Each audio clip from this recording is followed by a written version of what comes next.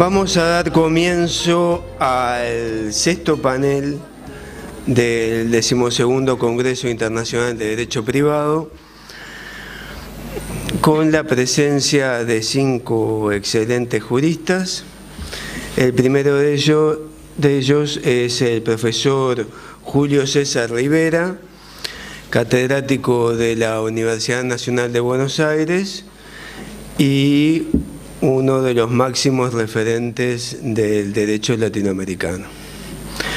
nos va a hablar de solución de controversias causadas en el comercio electrónico. Buenas tardes. Yo quiero advertir a los estudiantes que si alguno de ellos pagó la inscripción esperando escuchar mi disertación sobre solución de controversias en el comercio electrónico, puede pedir que le devuelvan lo que pagó por invocando la frustración del fin, eh, porque en realidad voy a hablar de otra cosa. Eh, ¿Y por qué voy a hablar de otra cosa? Porque en realidad eh, he escuchado varias de las intervenciones que han habido a lo largo del día de ayer y de hoy, y de ellos surgen un montón de temas, cuestiones, interrogantes, etcétera, que me parece que ameritan algunos comentarios ad hoc sin perjuicio de lo cual después voy a hablar un poquito de arbitraje de consumo y otros medios de resolución de conflicto en materia de consumidores. Pero yo creo que, sobre todo de la última sesión de la tarde de ayer, surgieron tres temas que a mi juicio es conveniente precisar, o por lo menos exponer algunos puntos de vista, que son el primero el de la globalización, segundo lo que se ha dado en llamar el principismo o principialismo, y el tercero, si existe o no un subsistema de derecho de los contratos latinoamericanos. Eh, con respecto a la globalización, yo quiero señalar, eh, ayer se dijo, dijo eh, el amigo Saus, que es básicamente una consecuencia o que tiene su origen en la economía. yo diría, es cierto, parcialmente, en realidad es un desarrollo es consecuencia del desarrollo exponencial del comercio internacional que se desenvolvió especialmente a partir de la segunda mitad del siglo XX y fundamentalmente por el colosal desarrollo de las comunicaciones que, como se ha dicho, permite superar las vallas que imponían la distancia y la geografía. Eh, por otro lado, es cierto que la globalización es un proceso proteiforme, es decir, hay globalización de los mercados, hay una globalización jurídica, eh, ha implicado que los estados cedan una parte de su soberanía, como se dijo ayer, es decir, eh, Saus decía, hay redes por encima de los estados. Pero esto no, mm, me parece que no debería ser visto necesariamente como un proceso negativo, sino todo lo contrario. Eh, vean ustedes que uno de los procesos de globalización más marcados es el de la globalización de los derechos humanos. Es decir, si hay un sector en el cual se ha generado una conciencia universal, es en la vigencia de los derechos de las mujeres, de los niños, de las personas con discapacidad y en general de todos los seres humanos. Y los estados han cedido soberanía. Y han cedido soberanía en favor de tribunales supranacionales. La Corte Europea de Derechos Humanos, la Corte Americana de Derechos Humanos y la Comisión, y los tribunales creados por la Corte Internacional de Justicia para juzgar crímenes de lesa humanidad, que han permitido el juzgamiento de los crímenes de Ruanda, por ejemplo, el genocidio de Ruanda tan conocido, tribunal del cual formó parte una jurista argentina. Eh, los crímenes de guerra de Congo y de Sierra Leona, y ahora la persecución internacional del antiguo dictador de Sudán. De modo pues que desde este punto de vista la globalización sin duda ha importado un enorme avance. En el ámbito del derecho privado, es cierto que hay un nuevo desenvolvimiento de la ley mercatoria. No hay ninguna duda. Más allá de que algunos profesores franceses y europeos la han calificado de monstruo inventado por los profesores de la Sorbona, lo cierto es que este derecho creado por el rango empresarial, como dice Galgano, se difunde y divulga a través de la circulación de los modelos contractuales, que tiene su, su propio sistema de resolución de conflictos, que es el arbitraje comercial internacional, que genera jurisprudencia que reconoce la vigencia de los principios del comercio internacional, pero que a la vez ha tenido lo que Gargano llama la mediación cultural de los juristas, que se ha manifestado justamente en los principios para los contratos comerciales internacionales de UNIDROIT y en otros eh, múltiples esfuerzos que han permitido identificar no solo esos principios de los contratos comerciales internacionales, sino también han morigerado, como veremos más adelante, lo que el propio Gargano llamaría el despotismo ilustrado de las empresas. Con lo cual, eh, mi contribución a esto implicaría simplemente señalar que el proceso de globalización del derecho privado, básicamente el derecho comercial internacional, no excluye tampoco que ciertos sectores del derecho privado patrimonial sigan quedando reservados a la decisión de los estados soberanos. El derecho de quiebras, el derecho societario, la actuación de los derechos extranjeros, el derecho cambiario, el derecho aduanero, más allá de la hoy en día eh, existencia de tendencias unificadoras de los sistemas aduaneros, etcétera, el derecho internacional privado, la aplicación del derecho extranjero en general, son sectores que siguen reservados al derecho nacional. Por lo tanto, los procesos de globalización de los mercados y los procesos de globalización jurídica que son correlativos eh, a la globalización de los mercados, porque los mercados únicos necesitan de un derecho único, y esto no lo digo yo, lo decía José Luis de los Mozos hace muchos años en un trabajo publicado en la revista General de Legislación y Jurisprudencia, eh, se van, eh, van generando figuras, pero que no implican necesariamente un retroceso en la vigencia del derecho estatal, ni implican necesariamente un proceso de dominación o de expoliación, más allá de que después veremos algunos aspectos en los cuales evidentemente, como se señaló ayer, existen eh, contratos que no son al consumidor, que son contratos entre empresas, pero que son contratos en los cuales existe una diferencia de poder de negociación muy evidente. Entonces, simplemente lo que quería era, en alguna medida, señalar que los procesos de globalización no son necesariamente procesos negativos, son procesos inexorables, por empezar, a los cuales debemos habituarnos, debemos saber que necesariamente estamos inmersos en ese proceso de globalización, no podemos excluirnos de él, y lo que debemos hacer es simplemente tratar de eh, preservar en alguna medida los grandes principios del derecho comercial internacional y del derecho privado, eh, en aras de tratar de restablecer o mantener alguna equivalencia de poder de negociación entre los distintos sujetos que operan en el comercio internacional. El segundo punto es el denominado principialismo. Ayer se habló del diálogo de fuentes, del efecto horizontal de las fuentes, de los procesos de constitucionalización del derecho privado, etc. Quiero señalar que uno de los primeros trabajos probablemente publicados en la Argentina sobre el proceso de constitucionalización del derecho privado, lo publiqué en la revista de Derecho Privado hace 24 años. ¿eh? Es decir, no voy a cuestionar desde ya el efecto eh, interpretativo, integrador y derogatorio que tiene la Constitución Nacional respecto al derecho privado, así como de la vigencia de los principios generales del derecho que tienen una función integradora, una función interpretativa y, como se dice ahora, de control axiológico de las decisiones. Pero ello, a mi juicio, no quiere decir que sobre la base de principios más o menos vagos o vaporosos se pueda prescindir de la ley. Eh, esto implicaría caer, dice en un artículo muy reciente, Natalino Irti, publicado en la revista de Derecho Civile hace pocos meses atrás, caer en un puro subjetivismo absolutamente contradictorio con la idea de Estado de Derecho, en la cual los ciudadanos están obligados a hacer lo que la ley no manda, ni privados de lo que ella no prohíbe. Y sobre el punto, me voy a leer unos párrafos de un profesor de filosofía del derecho argentino, el profesor Ricardo Guibur, que se refiere justamente a los primeros artículos del Código Civil, los del título preliminar. Dice Guibur, basta leer los artículos 1, 2, 3 y 10 del Código Civil argentino para advertir que el legislador se siente más próximo del sermón de la montaña que de la descarnada precisión del Código Napoleón. Y que al reservarse una función moralmente rectora, renuncia a la función de establecer criterios operativos para cederlo en la práctica a los jueces.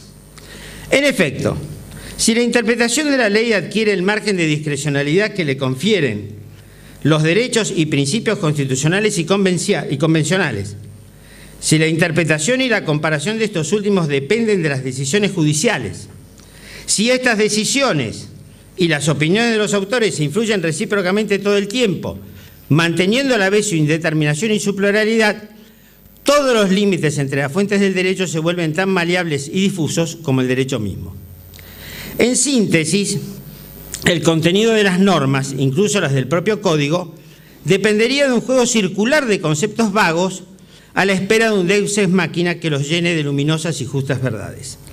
En estas condiciones, el nuevo código aparece como un sincero y entusiasta registro del ocaso del derecho, precisamente en el único punto donde su aporte fue alguna vez efectivo. En tono de chanza algo exagerada, podría decirse que luego de leer el título preliminar, todo el resto del código ha de detenerse por no escrito. Hasta tal punto su contenido queda sujeto a principios imprecisos, a criterios de interpretación subjetivos y cambiantes, y a procedimientos de ponderación de derechos y valores que siempre terminan reducidos al ojo del buen cubero, tan parecido al ojo de mal cubero que no hay método objetivo que permita distinguir entre los dos. En alguna medida, esta,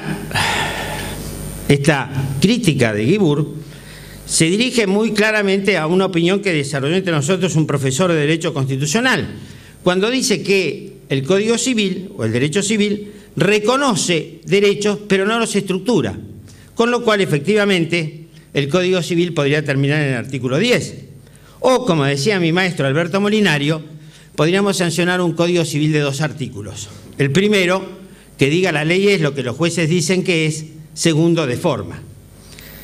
En definitiva, y lo hemos dicho ya en nuestra obra Derecho Civil Parte General, los principios generales cuya función, reitero, integrativa, interpretativa y de control axiológico no desconocemos, no pueden dejar la puerta abierta a una suerte de derecho libre o recurso mágico para dejar de fundar una decisión, lo que desafiaría todos los moldes de las construcciones jurídicas propias del legislador y escaparía a cualquier consideración sistemática del derecho privado.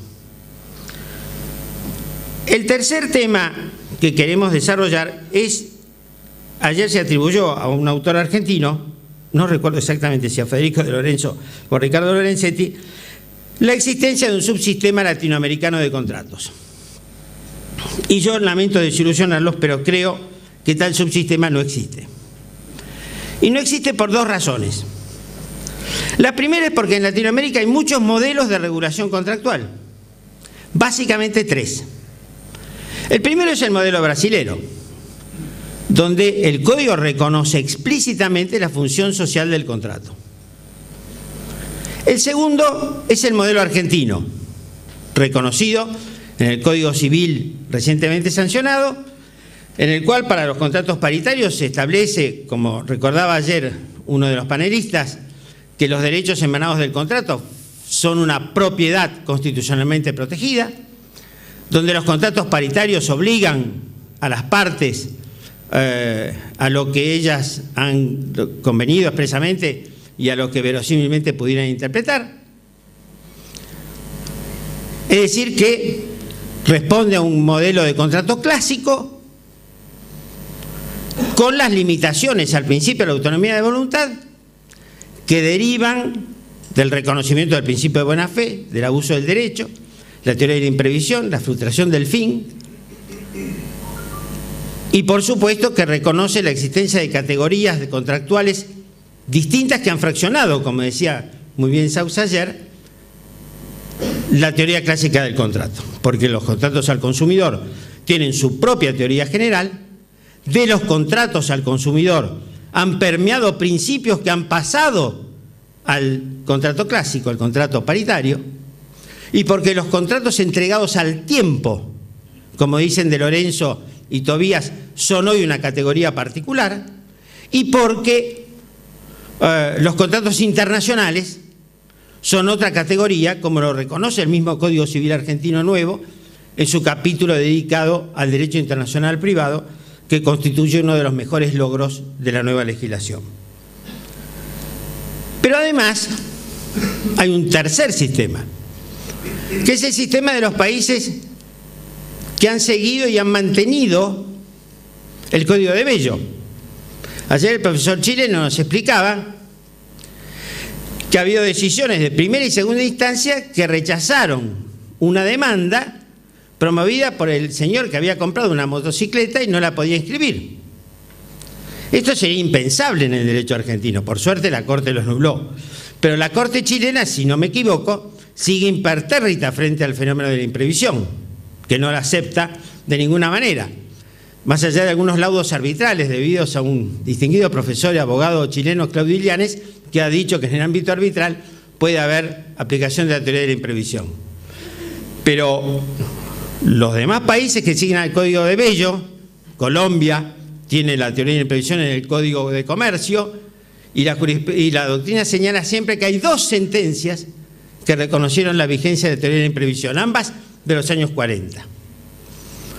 Panamá no reconoce la teoría de imprevisión, ni el abuso del derecho, ni la buena fe, ni ninguno de estos principios morigeradores.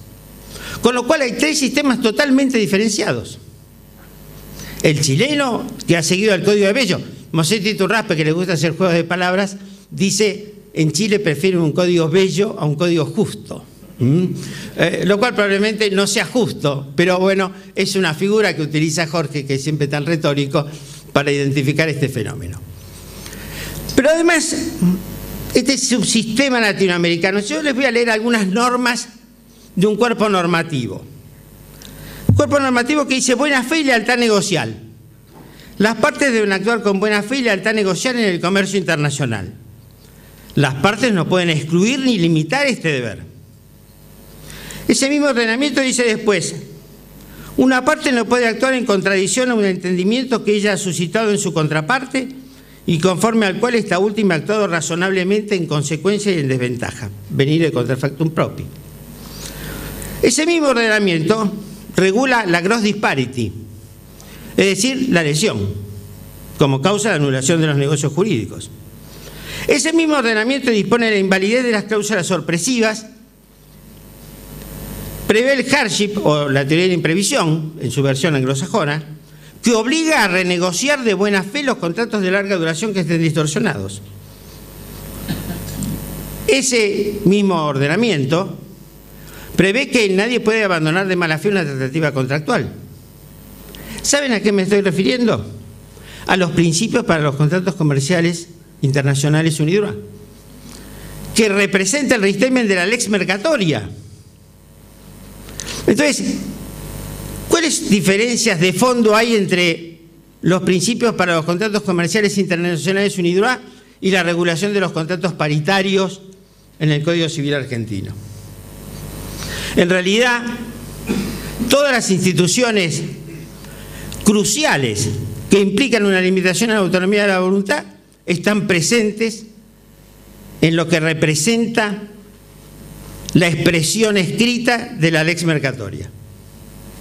Con lo cual, no hay un subsistema latinoamericano, al menos por ahora.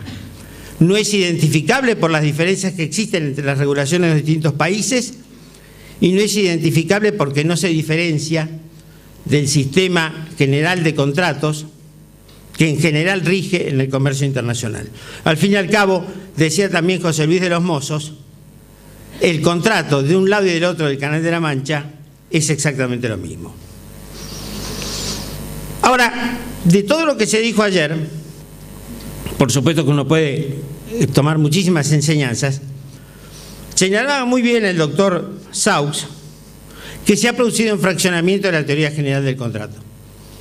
Ese modelo de contrato, si hay algunos de los tucumanos que vi, no sé que vinieron dos, dos ómnibus de, algunos tucumanos, si hay alguno que todavía tiene la valentía de venir, recordarán al famoso profesor Fernando López de Zavalía, que daba el ejemplo de siempre Ticio y Cayo, que negociaban, de, de, de, a gre, como diría Tilio Alterini, y llegaban a un negocio en el cual ambas partes eran jurídicamente libres y jurídicamente iguales.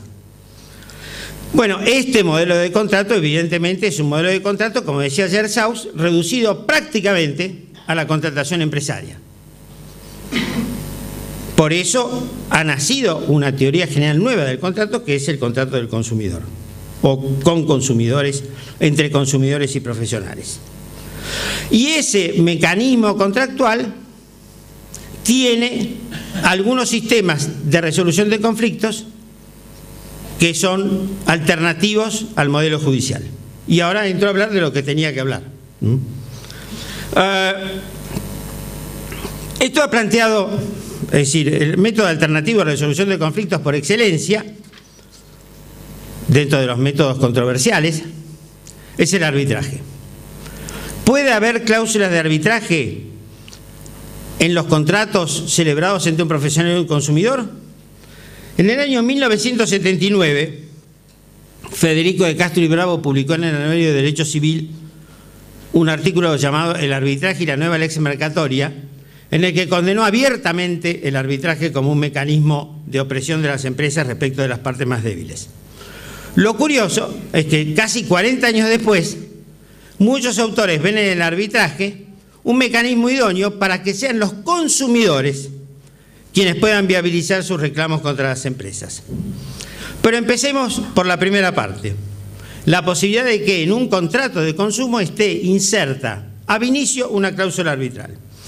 Hay dos grandes sistemas en el mundo, el de Estados Unidos y el del resto del mundo. En Estados Unidos, la jurisprudencia de la Corte Suprema ha sido particularmente favorable a la validez de las cláusulas arbitrales insertas en los contratos de consumo pero aún en circunstancias curiosísimas. En un caso que promovió Linda James contra McDonald's, se trataba del reclamo de un premio por un juego que había desarrollado McDonald's, unos los sorteos, etc. El tribunal admitió, tribunal judicial, la incompetencia causada en una cláusula arbitral que estaba a la cual refería el reglamento del juego que estaba impreso en el cartón o cucurucho de las papas fritas que se entregaba a través de la ventanilla del automóvil. Y el tribunal estadounidense dijo que eso era suficiente para que la parte conociera que había una cláusula arbitral. Eh, los tribunales americanos, la Corte Suprema en particular, ha sido particularmente favorable al arbitraje en las relaciones bancarias con sus consumidores. Eh, pese a que, pese a que algunos estudios realizados en ese país resultó que la mayor parte de los contratos de tarjeta de crédito bancarias remiten al arbitraje de la National Arbitration Forum, entidad en la cual los bancos y entidades emisoras de tarjetas de crédito se sienten muy confortables pues el 94% de los casos resueltos lo fueron en favor de las entidades financieras.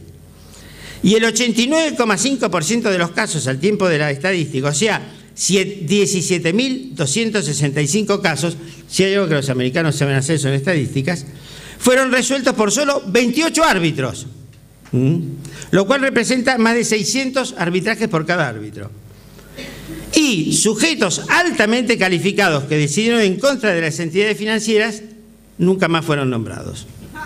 ¿Mm? Vean ustedes, es curioso, pero ustedes saben que las decisiones de la Corte Suprema Americana suelen ser muy respetadas.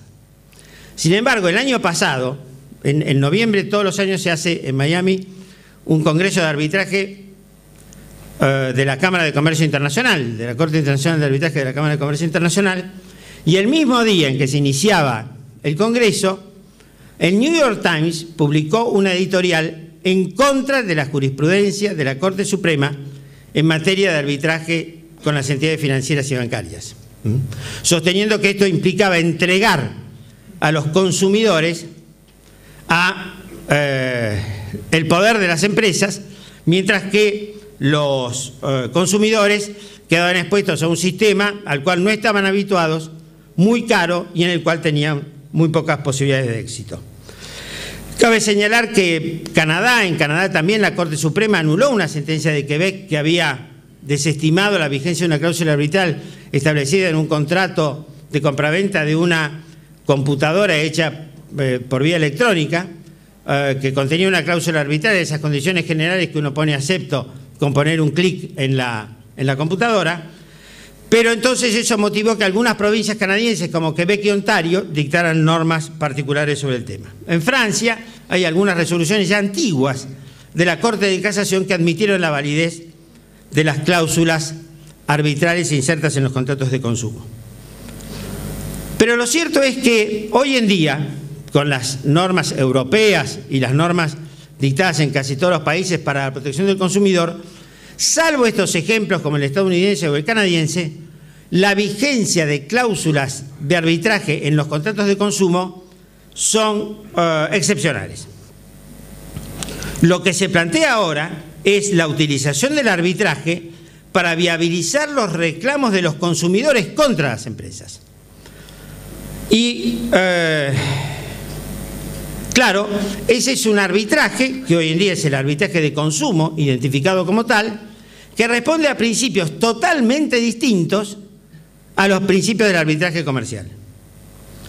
Ese sistema de arbitraje de consumo está basado, en primer lugar, en que depende exclusivamente de la iniciativa del consumidor y es un arbitraje que va a nacer siempre después de haber aparecido la controversia.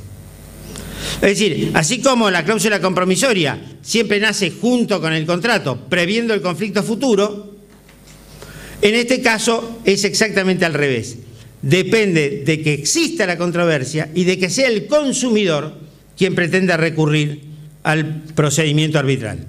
Este es el régimen que existe en el derecho argentino, donde la ley de defensa del consumidor prevé en su artículo 59 la creación del sistema de arbitraje de consumo, que fue eh, reglamentado por un, decreto que ha sido después en materia de sucesivas eh, modificaciones eh, y modernizaciones, en el cual las empresas pueden adherir al sistema, lo cual implica que aceptan esta vía para eventualmente ser demandada por los consumidores a iniciativa de ellos.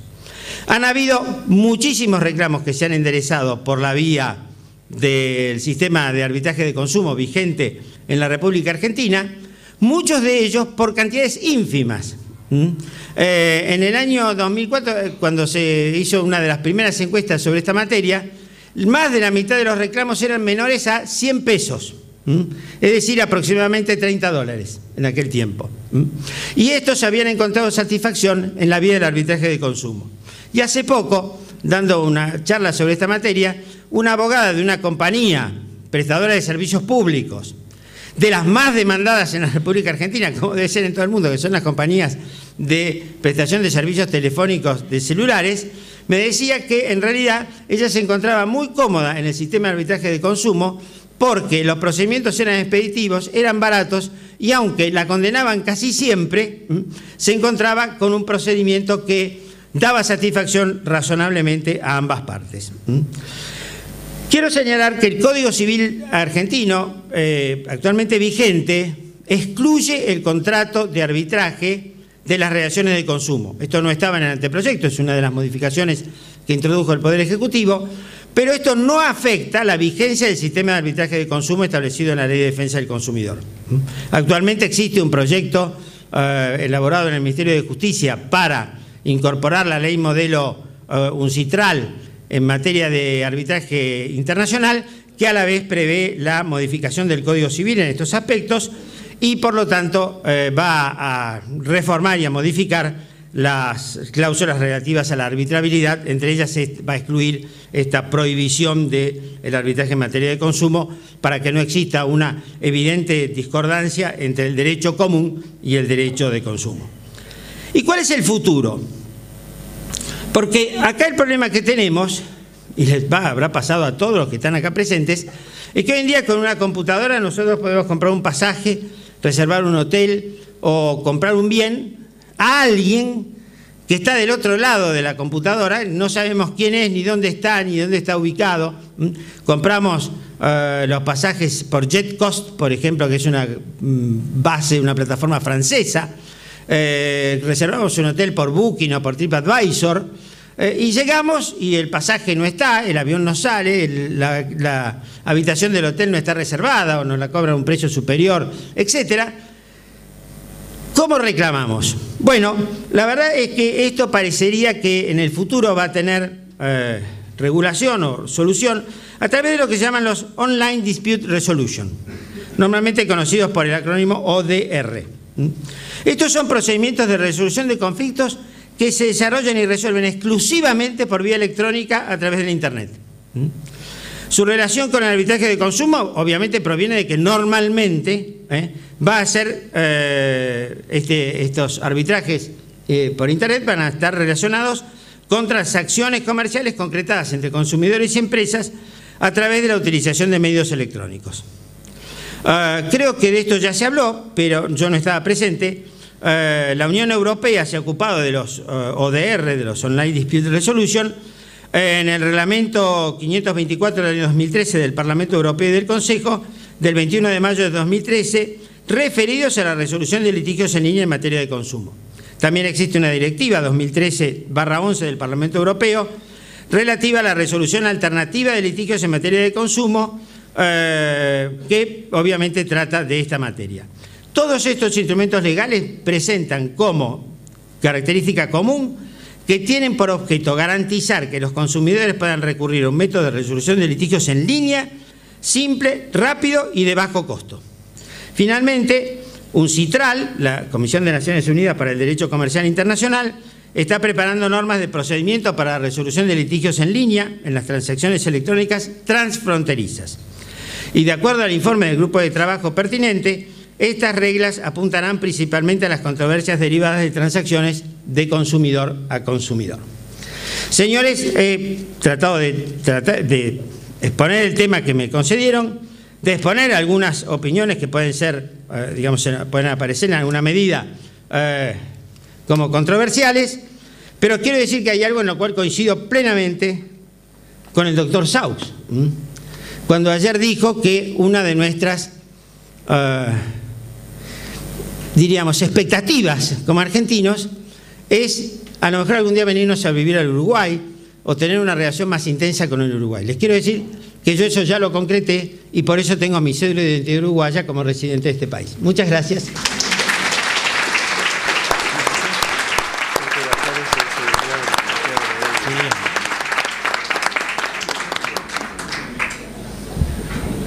Bien, muchas gracias, profesor.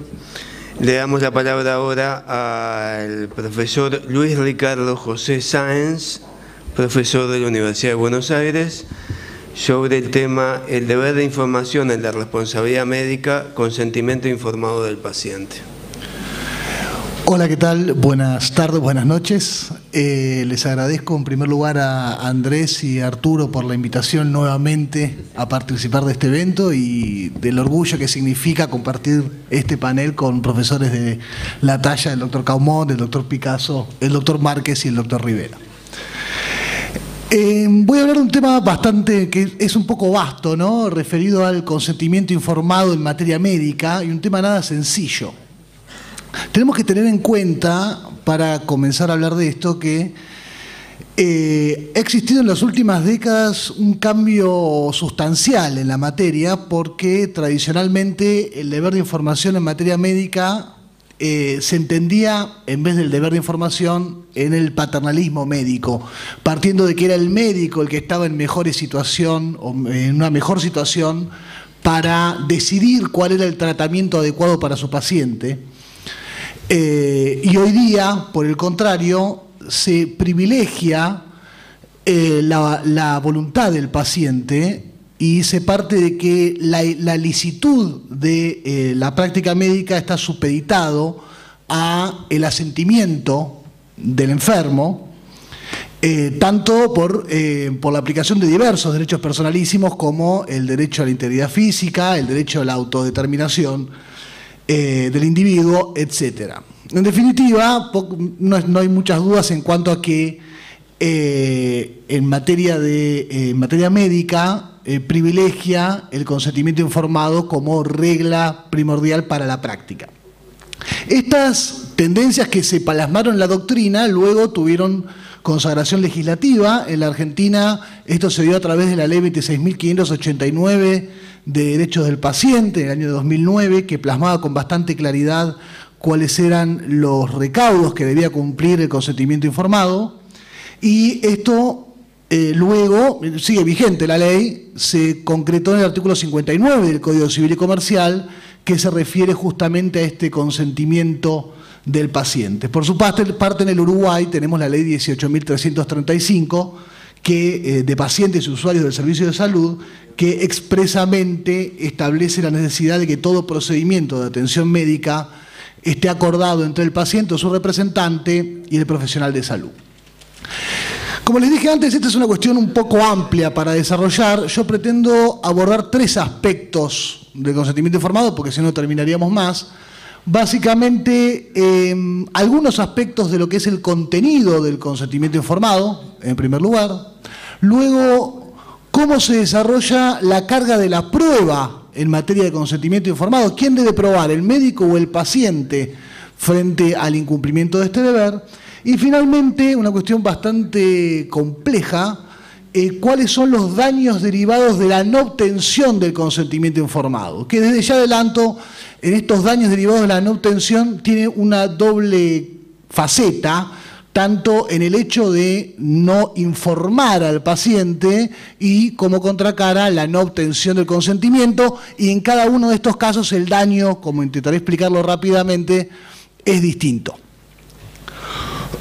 Comenzando entonces con lo que es el contenido del deber de información, ya antes de la entrada en vigencia de las normas que he mencionado, eh, no había mucha duda en la doctrina y la jurisprudencia sobre la existencia de un deber de información. Lo que sí es trascendente, como lo decía el profesor Bueres en su momento, eh, en su libro sobre responsabilidad de los médicos, en materia eh, médica, cuando el médico informa al paciente con la intención de obtener su consentimiento, es importante que esta información que le brinda no lo haga en forma de clase magistral o técnica sobre la, prestación médica, sino en forma de hacerle entender al enfermo los riesgos y las consecuencias de la terapia o tratamiento al cual va a ser sometido.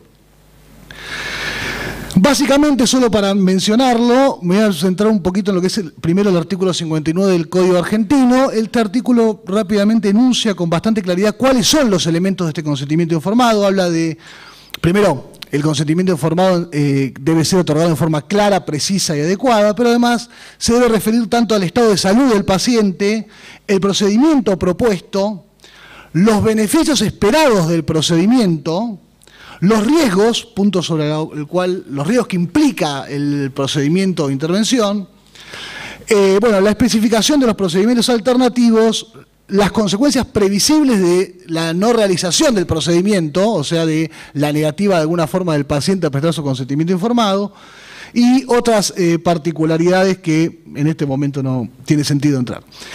En cuanto al artículo 11, la ley 18335 es una norma un poco más genérica, pero es clara en cuanto a que el paciente debe recibir, información adecuada, suficiente y continua sobre eh, la prestación médica. Como les decía, poca duda puede existir en cuanto a el alcance de este deber de información y qué es lo que debe informar el médico. Y tenemos que tener en cuenta nuevamente esto que les decía antes, en cuanto a que el, consentimiento informado del paciente tiene esta doble, este doble funcionamiento, por un lado la información que se le da al paciente, por el otro el hecho de obtener el consentimiento. Los dos eh, son supuestos a tener en cuenta. Ahora, Un punto particular y complejo es, una vez que determinamos el deber del médico de obtener el consentimiento del paciente, es qué le debe informar el médico al paciente. El, médico le tiene que informar todo al paciente, le tiene que informar algunos riesgos al paciente. No es una cuestión menor porque em, lo que el médico no informa al paciente debe informar genera de alguna forma una traslación de riesgos a cabeza del médico. Entonces, si para poder decir por qué va a responder el médico, tenemos que determinar qué riesgos son los que el médico justamente debe informar o debe manifestar.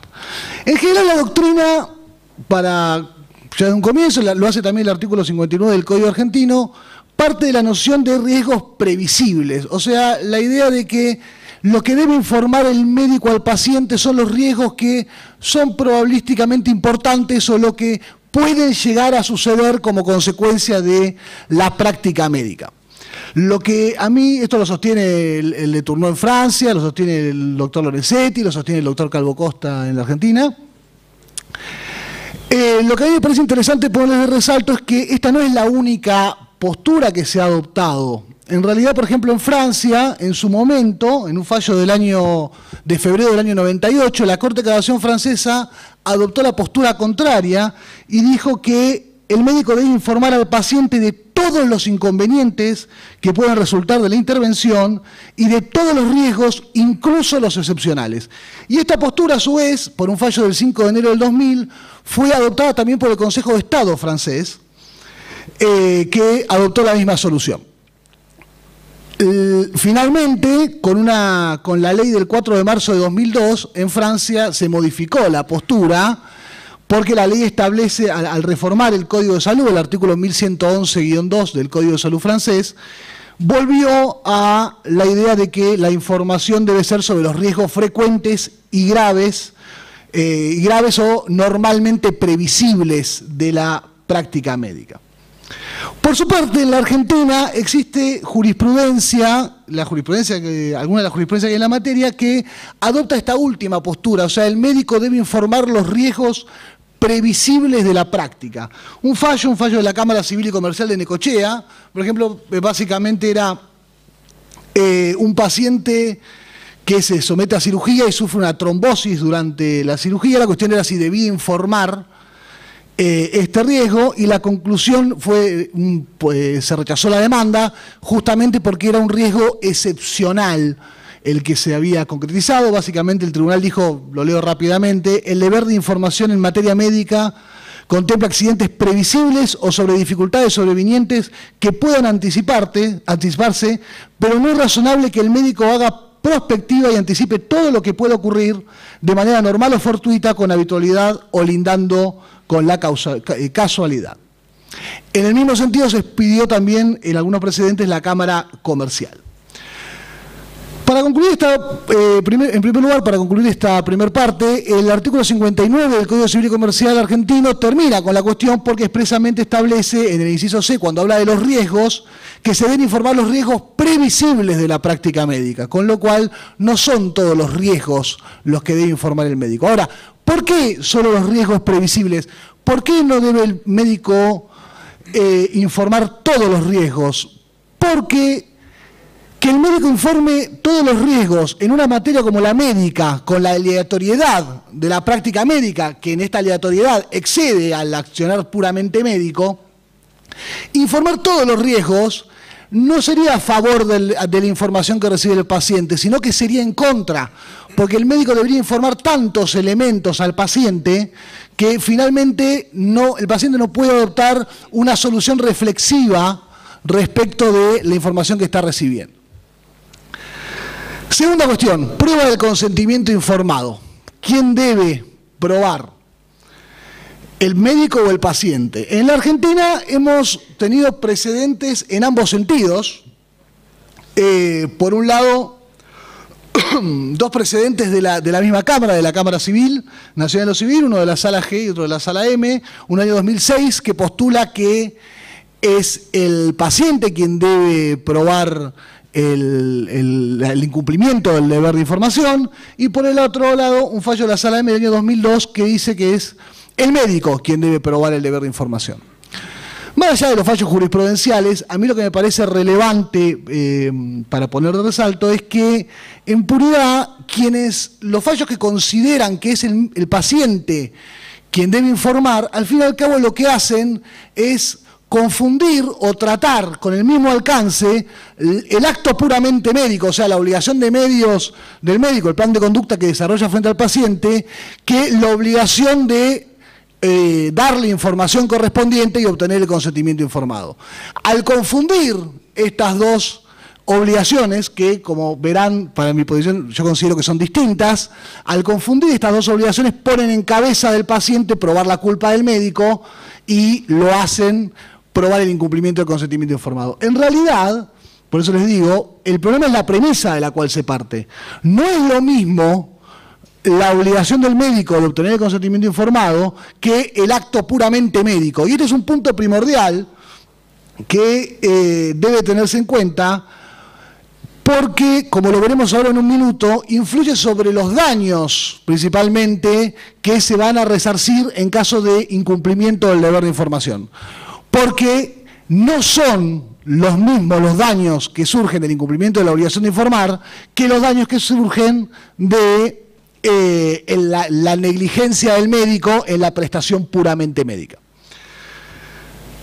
Eh, en cuanto a la prueba, entonces, eh, en particular la Corte de Cadación francesa ha adoptado la postura que yo adopto, con la cual yo estoy de acuerdo, o sea, es el médico quien debe probar el, cumplimiento del consentimiento informado. ¿Por qué? Por, las, por la aplicación de las reglas del pago, básicamente. Eh, por las reglas clásicas de la prueba en materia de obligaciones. Es el paciente que debe probar la existencia de la obligación, en su carácter acreedor, es el médico quien debe probar la extinción de la obligación por pago. Es decir, ¿quién debe probar el cumplimiento de la obligación? El médico. Para concluir, me voy a referir a lo que es el daño derivado del incumplimiento de, y acá pongo más el acento todavía, del deber de información que informa el médico al paciente y por el otro lado del incumplimiento lato del consentimiento informado. Uno, se vincula con qué informó el médico, el otro se vincula con si el paciente prestó o no su consentimiento. Aquí podemos hacer una diferenciación, básicamente la jurisprudencia elaboró tres categorías distintas que se vinculan con las consecuencias del incumplimiento de la obligación. Primero, podría ocurrir, y ya desde, ahora adelanto que sería un supuesto excepcional, pero podría ocurrir que el médico ocasione el daño final, o sea, el resultado eh, lesivo que padece el paciente, como consecuencia del consentimiento informado, como del incumplimiento del consentimiento informado. Por ejemplo, esto es un ejemplo que da el doctor Calvo Costa, un médico que omite informar al paciente que debe dejar de tomar una medicación antes de la realización de una práctica quirúrgica. Entonces, los daños derivados de que se haya mantenido en la utilización de esa medicación son, guardan una relación causal con el incumplimiento del deber de información. Pero como ya les adelanté, este no es el típico caso, por lo menos lo que se presenta en la práctica en materia de incumplimiento del deber de información. En general, en la práctica los casos más comunes son eh, aquellos en los cuales el médico omite informar un riesgo y este riesgo que tenemos que desde ya tener en cuenta, que es un riesgo propio de la práctica médica, no se vincula con la negligencia del médico, se vincula en el, en el, acto puramente médico, se vincula con un riesgo aleatorio de la intervención a la cual se sometió el paciente.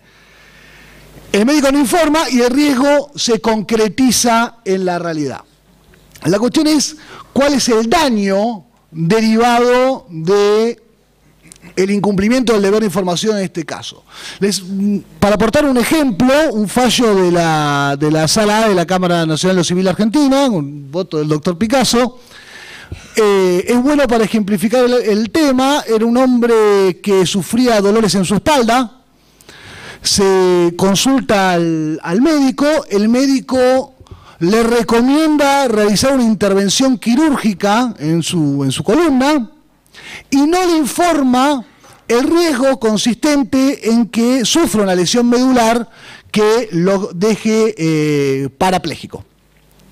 En la práctica, entonces, se realiza la intervención quirúrgica, se concretiza el riesgo y la cuestión es determinar cuál es el daño, digamos, cuál es el daño derivado del incumplimiento del deber de información. Que el paciente haya quedado en esas condiciones, no, porque eso es deriva del riesgo quirúrgico que se concretó.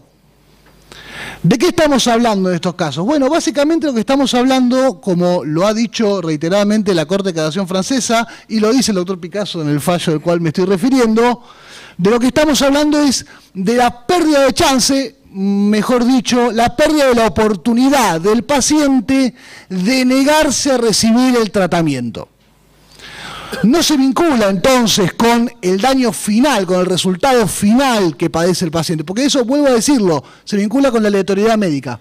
Le estamos hablando de la pérdida de la oportunidad de negarse al tratamiento.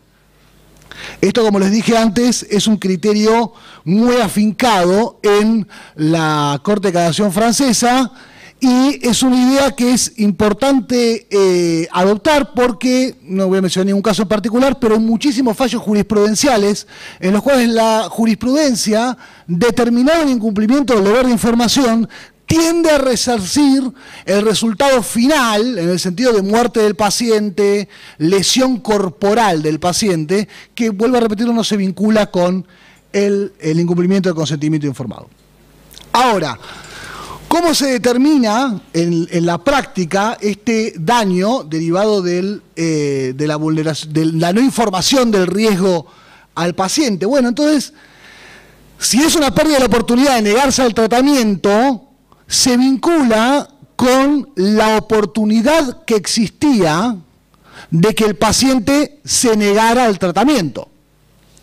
Quiero decir, eh, como ocurre con cualquier supuesto de pérdida de chances, en, estos casos eh, lo que se está indemnizando es la aleatoriedad, la oportunidad en sí misma. La certeza va a estar en que el paciente acepte o se niegue al tratamiento. ¿Y cómo se va a evaluar? por todas las circunstancias particulares de cada caso que deben evaluarse. La gravedad de la enfermedad, la solución frente a eh, la, solución propuesta por la intervención propuesta por el médico frente a eh, la dolencia que padece el paciente. En ese caso que les mencioné antes, estábamos, se estaba hablando de un hombre que, como les dije antes, sufría un dolor importante en la espalda, pero no, no es discutible que tuviera la suficiente entidad como para que él no se negara al tratamiento frente al, riesgo enorme que corría. Todas estas circunstancias son las que van a determinar la cantidad de chances con las cuales contaba el paciente de negarse, que muchas veces eh, pueden ser cercanas a, nada o muchas veces pueden ser cercanas al total, digamos, la cantidad de posibilidades que se niegue. Acá hay una particularidad, la Corte de Casación Francesa tiene otros precedentes en los cuales ha dicho que si el paciente, que no existían posibilidades de que el paciente se negara a la práctica médica, entonces no había daño porque no había oportunidad. Desde ya les digo que eh, a mí me parece una cuestión un poco discutible al menos analizar en el, futuro la existencia o no de una oportunidad. O sea, la oportunidad puede ser mayor o menor, pero que no exista es una cuestión medio difícil de valorar cuando ya no tenemos, ya la, otra oportunidad se ha perdido. Lo que sí es cierto, y sí hay que tener eh, en cuenta, es que los casos en los cuales la Corte de Casación, Corte Francesa hizo esto, negó rechazó la acción, eran casos en los cuales claramente la oportunidad era bajísima. Por ejemplo, la oportunidad de negarse a, a la práctica de un eh, diagnóstico médico, por ejemplo, un análisis clínico.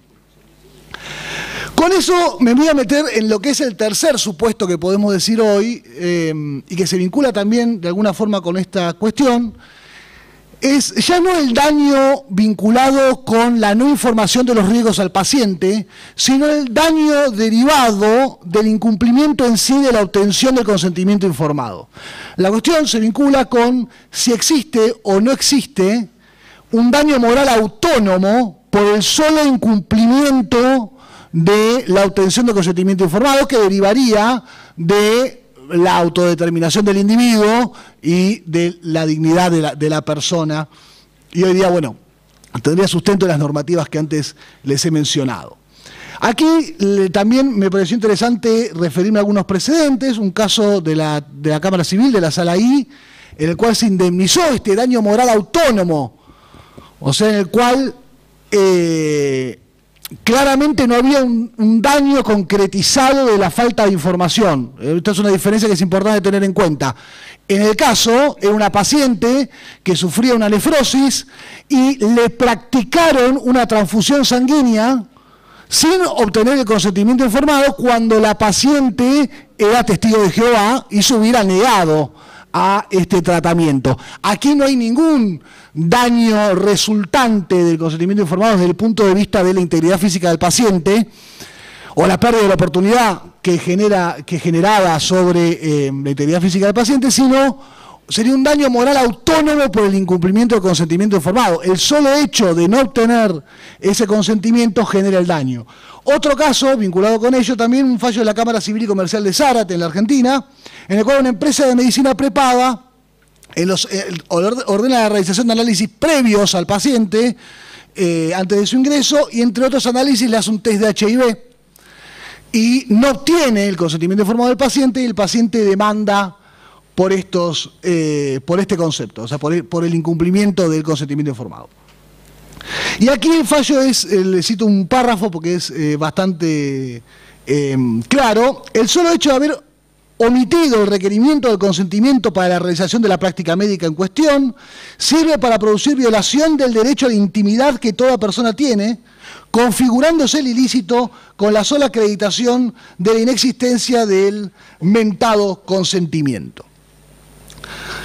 Y finalmente, esto lo digo rápidamente, eh, algún fenómeno similar se produce en el derecho francés, porque en el derecho francés la eh, Corte de Casación, en casos en los cuales no estaba probado o consideraba no probada la pérdida de la oportunidad, dice hay un perjuicio que el juez no puede dejar sin reparación y establece el resarcimiento de que del daño moral sufrido por el paciente frente al incumplimiento de la obtención del... Eh, del consentimiento informado. Entonces, básicamente, para concluir esta última parte, el, el, incumplimiento del deber de información tiene en materia médica tres, por lo menos por el momento, tres posibles perjuicios que se ha ido elaborando la jurisprudencia, como les decía, el daño total, en los casos excepcionalísimos en los cuales el paciente, el médico no informa un tratamiento determinado. El más común, diría yo, que es la eh, pérdida de la oportunidad derivada de no poder negarse al tratamiento si hubiera sido debidamente informado. Y finalmente, esto que sería un daño autónomo por eh, el incumplimiento de información, básicamente por la infracción, por la violación de los derechos personalísimos del paciente. Como sea, verán que la cuestión es eh, extensa y el tema recién está comenzando. Eh, espero poder haber dado un panorama que le resulte interesante. Muchas gracias.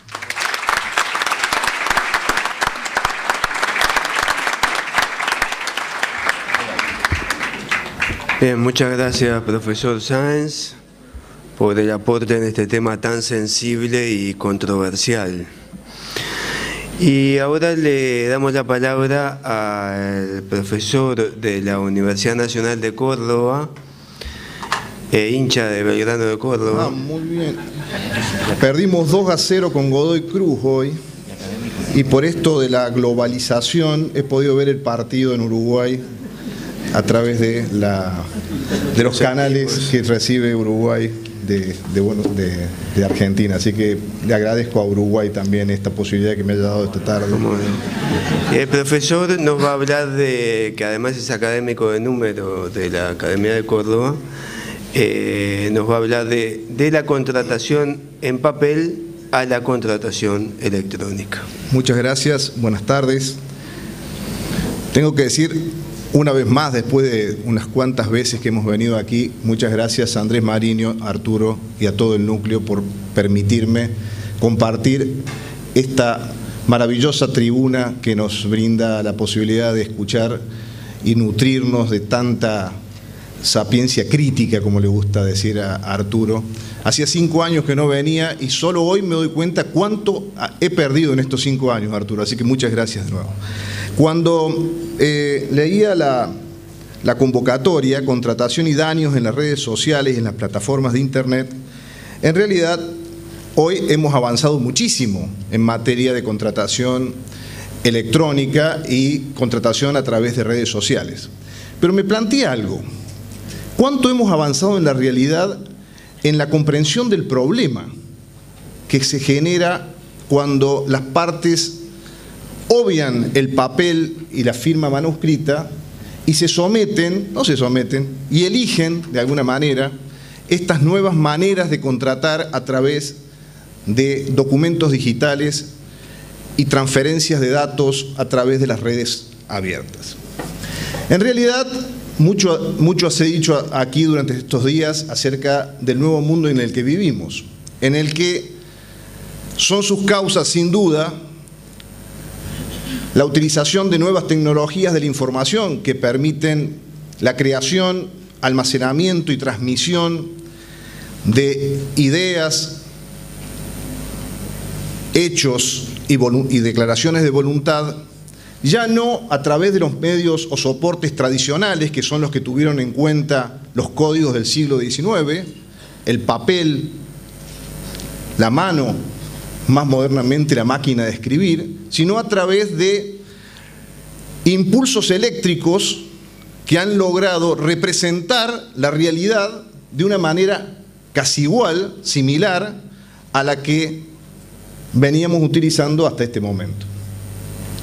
Pero esto tiene una explosión única cuando a mediados de los 90 el gobierno de los Estados Unidos o los organismos que regían la Internet permiten que esta tecnología destinada a la guerra sea utilizada con fines civiles. Y se abren las grandes autopistas de la información que nos permiten estar interconectados las 24 horas del día con todo el mundo e intercambiando imágenes, palabras. De hecho, ustedes, muchos de ustedes en este momento, en vez de estar escuchándome a mí, deben estar armando la noche por WhatsApp, seguramente, ¿Qué es lo que por lo general hacemos todos los que nos sentamos allí mientras los profesores están hablando aquí. Esto, esta nueva, este fenómeno que ayer el profesor Saus decía es la aldea global que Marshall McLuhan había, había imaginado a mediados del siglo pasado cuando estudiaba las influencias de los medios de comunicación sobre la nueva sociedad, ha creado un mundo distinto llamado la sociedad de la información, el mundo digital, el ciberespacio, que también lo, haya, lo planteara también en los 80 del, siglo pasado ya Negro Ponte, en aquel excepcional libro La Era Digital, aquel que fuera el socio de Bill Gates en la creación de Microsoft. Sin duda que estas nuevas tecnologías y esta nueva manera de representar el mundo y de comunicarse con fines amistosos, comerciales, altruistas, egoístas, va a influir directamente en las reglas del derecho, porque el derecho es el medio técnico que hemos elegido todavía mayoritariamente para resolver los conflictos. Y este nuevo mundo crea nuevos conflictos y hay que buscar reglas adecuadas para las nuevas tecnologías. Fíjense el teletrabajo, que elimina la noción de jornada laboral, elimina la noción de accidente de trabajo clásico, elimina la noción de trabajo en un ámbito laboral nacional determinado, elimina quizá las nociones de salario, es decir, hay un mundo laboral absolutamente diferente al que prevé la ley de contrato de trabajo argentina o las leyes similares que en Latinoamérica tenemos. Sin duda uno de los puntos centrales que hoy está en discusión en materia de la sociedad de la información es la protección de las libertades y los derechos fundamentales, notoriamente arriesgadas ante la lucha de los de las grandes corporaciones por la acumulación de datos personales y su utilización para diversos fines. Y esto no es crear, y en esto estoy de acuerdo con el profesor Rivera, esto no es crear o, creer que este es un mundo malo. Este es el mundo en el que vamos a vivir y en el que los milenios, milenias ya viven. El problema es nuestro, que todavía estamos en una transición entre lo que vivíamos y los que tendremos que vivir, pero seguramente los que hoy tienen 10 o 12 años a estos temas ya los tienen mucho mejor digeridos y seguramente para cuando ellos lleguen a ser los actores principales en esta sociedad también hayan avanzado las reglas de derecho. Nuevos delitos, Wikileaks es sin duda, o Panama Papers, o tantos otros delitos especiales derivados directamente de estas nuevas tecnologías, las nuevas fronteras de la propiedad intelectual, la, intelectual, la propiedad intelectual se ha borrado, ya no hay, hoy decíamos con Julio Rivera, no hay propiedad intelectual, menos en los países latinoamericanos, en donde la propiedad intelectual está notoriamente desprotegida frente a la reproducción ilimitada que permiten estas nuevas tecnologías, y herramientas de solución de conflictos adecuados sobre lo que, el profesor Rivera eh, se hizo referencia recién. Dentro de esta temática general, el programa o el eh, preveía contratación en las redes sociales. Y yo decía, en realidad, a fines de los años 90 del siglo pasado y a principios del siglo XXI, se dictaron numerosas leyes. Se dictaron numerosas leyes en Europa a partir de directivas comunes, se dictaron numerosas leyes en los países anglosajones de nuestro, de nuestro continente y se dictaron numerosas leyes en los países iberoamericanos, se modificó el Código de Perú, se modificó el Código de México, se modificó el Código de Colombia, la Argentina tiene su propia ley de firma digital, pero sin embargo hay como una falta de certeza, hay una desconfianza. Entonces me planteé, vamos a hablar sobre qué. Yo les propongo volver a lo básico, cuáles son los elementos básicos del comercio electrónico para entender que el comercio electrónico, o más ampliamente la representación digital o electrónica de hechos o ideas tiene ya su propia instalación jurídica y esa instalación jurídica nos sirve para defender la existencia de la declaración y su validez. Para esto, lo que ha hecho la doctrina y lo que han hecho las legislaciones que se han dictado es tratar de equiparar legalmente la declaración vamos a pasar directamente a esto, mm, a equiparar legalmente las declaraciones digitales con las declaraciones analógicas. Esto es, lo que antes se hacía, como se, como se dice, en átomos, ahora se hace en bytes o bits. Lo que antes se utilizaba en un papel, porque este era el soporte que permitía luego reproducir esa declaración a la hora de tener que exteriorizarla e invocarla, por escrito, porque esta era la manera en que quedaba la declaración plasmada en ese papel, y además a través de una firma manuscrita que tenía la función de autenticación, si yo firmaba era porque hacía mía la declaración, entre otras, y además la inalterabilidad de esa declaración. Para eso, las leyes en general tienen dos eh, principios generales. Y hay que volver a los principios generales, creo, para entender el problema. El primero es el de la equivalencia funcional y no discriminación de las declaraciones eh, de voluntad a través de medios digitales. ¿Qué significa esto? Cuando la ley determina que una declaración tiene que constar por escrito, puede ser declarada a través de medios digitales siempre que estos medios digitales tengan algunas características que le permitan entender a quien lee esto es, ustedes saben que los idiomas digitales no son idiomas a través de los eh, símbolos que normalmente utilizamos, sino que son símbolos utilizados solos por especialistas, pero esto tiene que ser de algún modo traducido al idioma propio para que sea entendible. Si es así, una declaración digital a través del documento digital, así se, o documento electrónico como se lo denomina, debe tener la misma, el mismo emplazamiento legal que el documento en papel, escrito y en su caso firmado.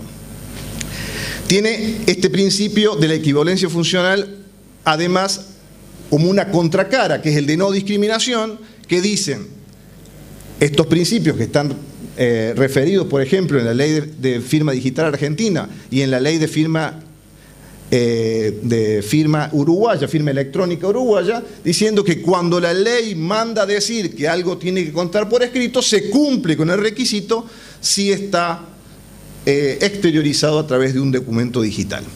Y además, la inalteración del derecho de los contratos y las obligaciones. Esto era imprescindible decirlo porque en realidad cómo se forma el contrato no lo determina el medio, sino lo determina la ley, el sistema que determina cuándo en definitiva hay oferta, aceptación, todo lo que hemos hablado aquí, eh, eh, acuerdos preliminares, qué efectos tienen, la información precontractual, etcétera, etcétera. Esto es propio del sistema contractual. Lo que hay que luego adaptar algunas herramientas para que el sistema contractual sirva para los medios digitales que estamos utilizando.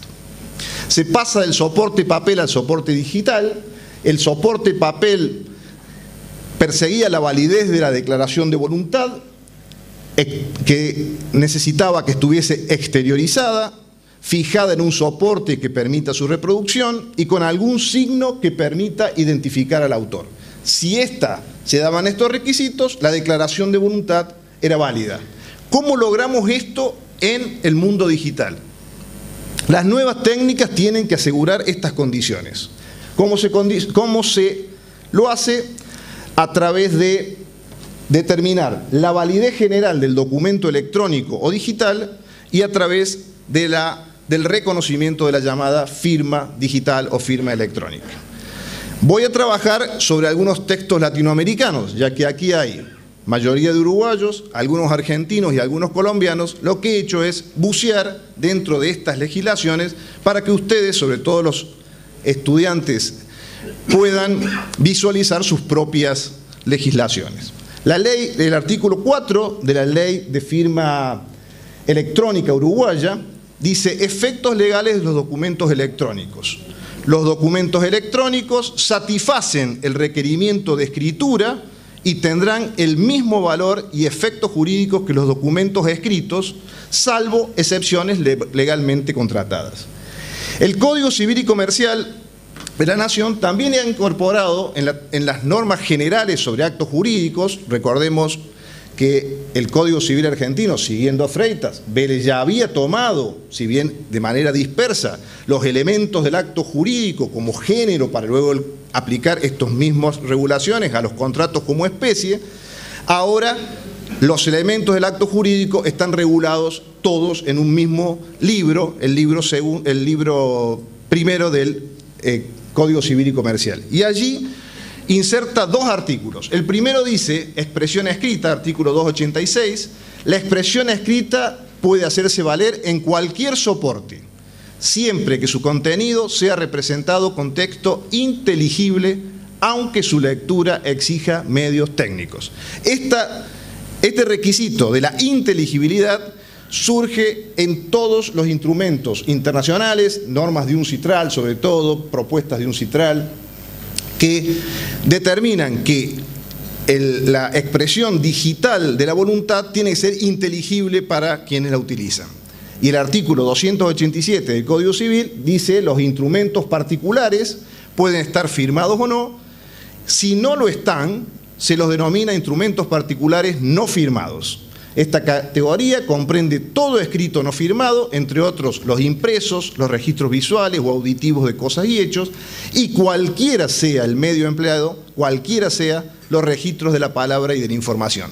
El Código Civil argentino en realidad, y comercial argentino con vigencia a partir del primero de agosto de 1815, 2015, trae solo dos artículos en materias de acto jurídico, pero luego no reproduce en la parte de contratos estas disposiciones y tampoco trae normas específicas sobre contratación electrónica. Por el contrario, el Código Civil francés, en su reciente eh, modificación en materia de obligaciones y contratos, trae un capítulo especial sobre contratos electrónicos y luego, en materia de prueba de contratos, porque carece de la parte general del acto jurídico, de la forma del acto jurídico, también trae normas acerca de cómo se prueban los contratos electrónicos, precisamente reconociendo la validez del documento electrónico como modo de exteriorización de los acuerdos de voluntades. Si reconocemos la validez de el documento digital como documento escrito siempre que sea inteligible, luego el segundo paso es encontrar la manera de darle autenticidad al documento. Dijimos, en el soporte papel la autenticidad del documento se otorga a través de una firma manuscrita. Esto no existe, porque en realidad el documento escrito no lleva, eh, eh, eh, no, no contiene átomos sino son bytes. Por lo tanto, hay que crear una herramienta a través de bytes que permitan identificar quién creó ese documento digital. Entonces, el documento firmado tiende a la autenticidad del mensaje, darle, saber quién lo, quién lo emitió, la conformidad con el contenido, es decir, que quien firma está de acuerdo con la declaración de voluntad que contiene el documento, y en principio también la no alteración del documento, es decir, que el documento no ha sido modificado desde que ha sido firmado hasta que es utilizado.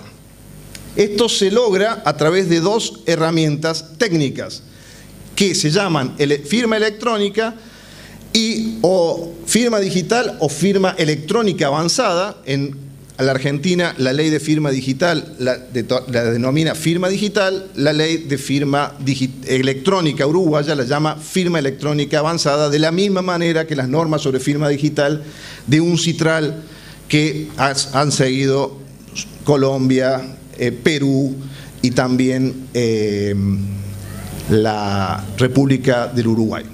Fíjense lo que dice la ley de firma electrónica uruguaya. A los efectos de esta ley se entenderá por firma electrónica los datos de forma electrónica anexos a un documento electrónico asociados de manera lógica con, los mismos, con el mismo, utilizados por el mismo como forma de identificación. Es decir, cualquier elemento electrónico anexo a una declaración de voluntad, si es que se trata el documento digital de una declaración de voluntad, que permitan de alguna manera unirlo con el autor.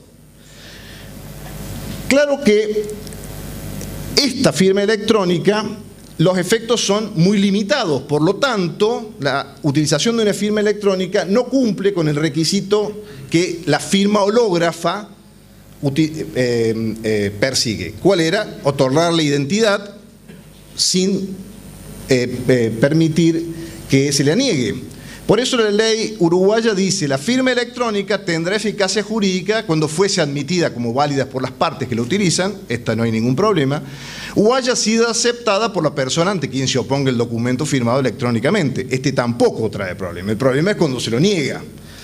Se respetará la libertad de las partes para concertar de común acuerdo las condiciones en que se aceptaran las firmas y lo que, a lo que nos interesa, en caso de ser desconocida la firma electrónica por una de las partes, corresponde a la otra parte probar su validez, con lo cual los autores dicen, la verdad que la inserción de una firma electrónica trae muy poca seguridad, entonces hay que avanzar sobre medios técnicos más seguros para que las partes tengan completa certeza acerca de quién está emitiendo el documento digital que va a atender a crear el contrato.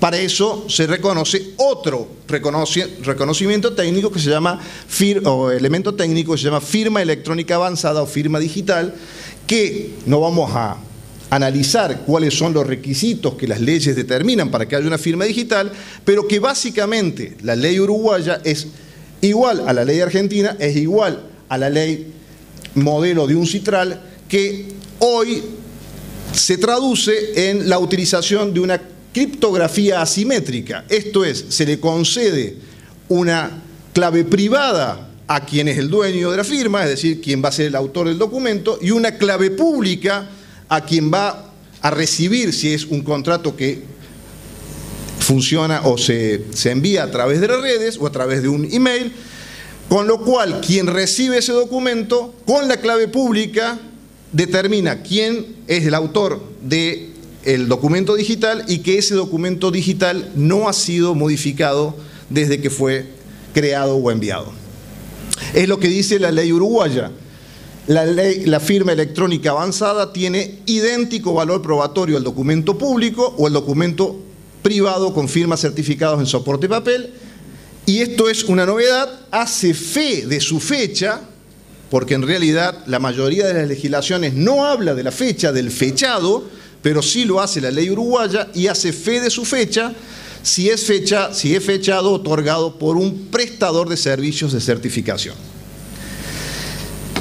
Hasta aquí la validez del documento digital que puede ser utilizado para contratar o no y puede ser utilizado en redes cerradas o abiertas.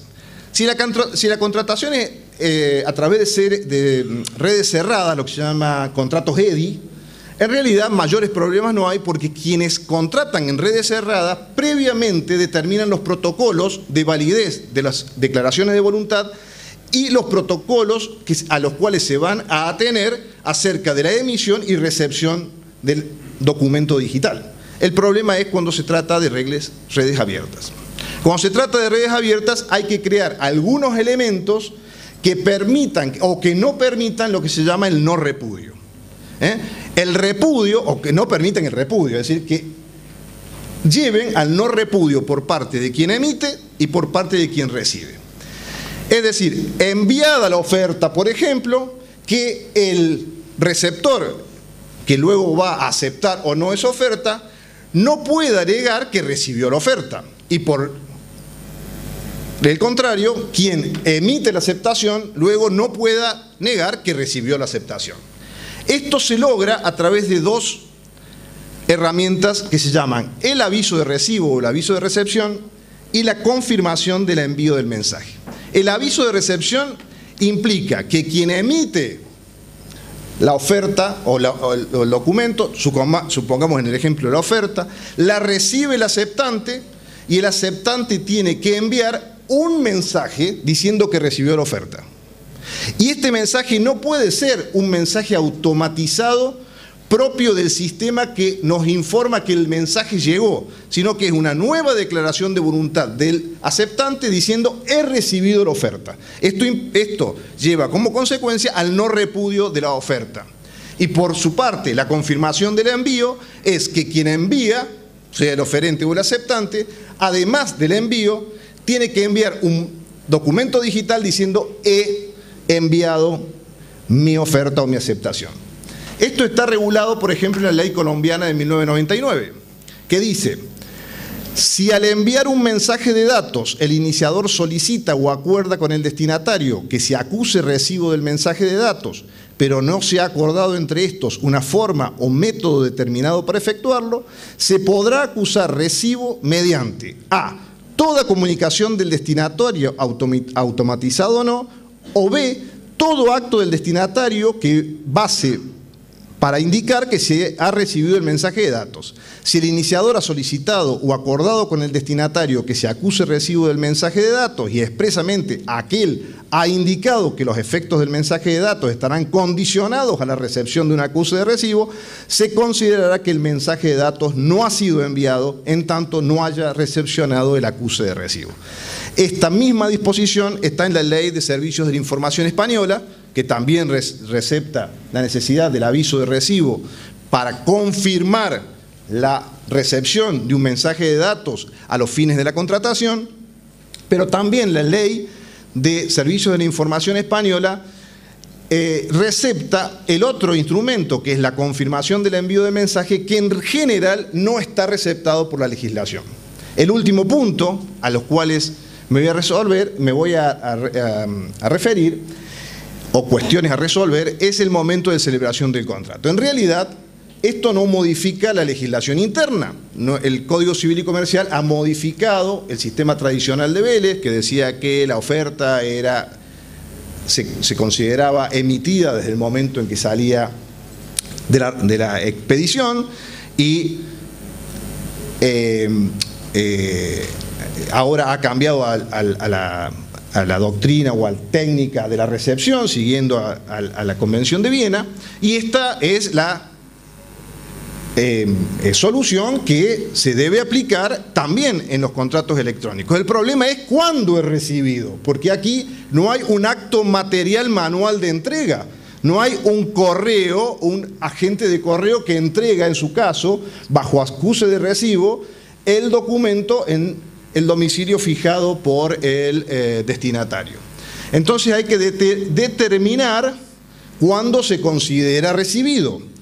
Y las legislaciones dicen, el mensaje se entiende expedido si fuera el supuesto, porque esto es importante a los fines de la revocación de la oferta, a los fines de la caducidad de la oferta, se entiende expedido cuando entra un sistema distinto al del iniciador del mensaje, es decir, cuando sale del sistema del iniciador del mensaje y se entiende recibido cuando el mensaje entra dentro del ámbito de interés del destinatario, aunque no sea efectivamente conocido. Estuve leyendo estos días, aprovechando que hace desde el jueves que estoy, hoy es sábado y recién hoy me tocó trabajar, entonces uno hace muchas cosas que normalmente no hace. Un muy interesante libro que se llama ¿Quién le hacía la cena a Adam Smith? En realidad, ¿cuánto tiempo tengo? ¿Tengo tres minutos? No, te pasaste 14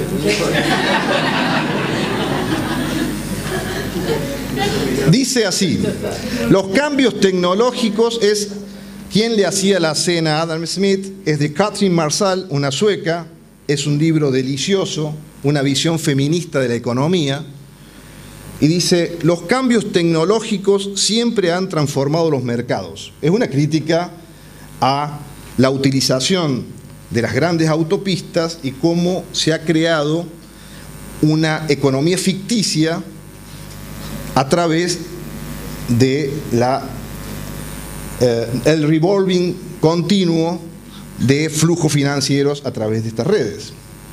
Y dice, los cambios tecnológicos siempre han transformado los mercados.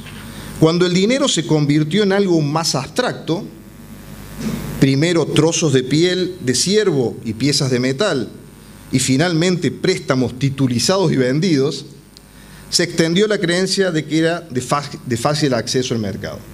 El potencial para la prosperidad es enorme, pero también el de los riesgos. Sobre todo si no conseguimos mantenernos aferrados a las bases reales de la economía.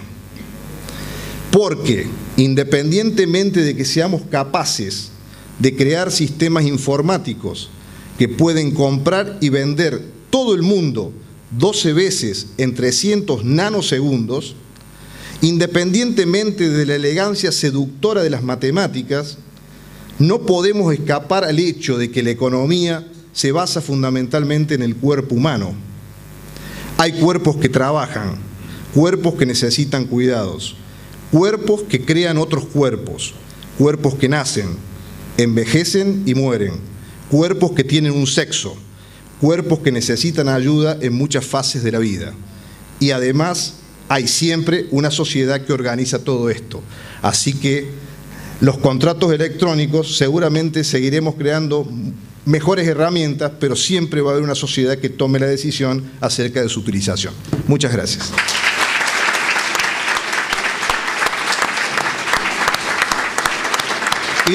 Disculpe, doctor, que me ha pasado los 15 minutos. Está disculpado.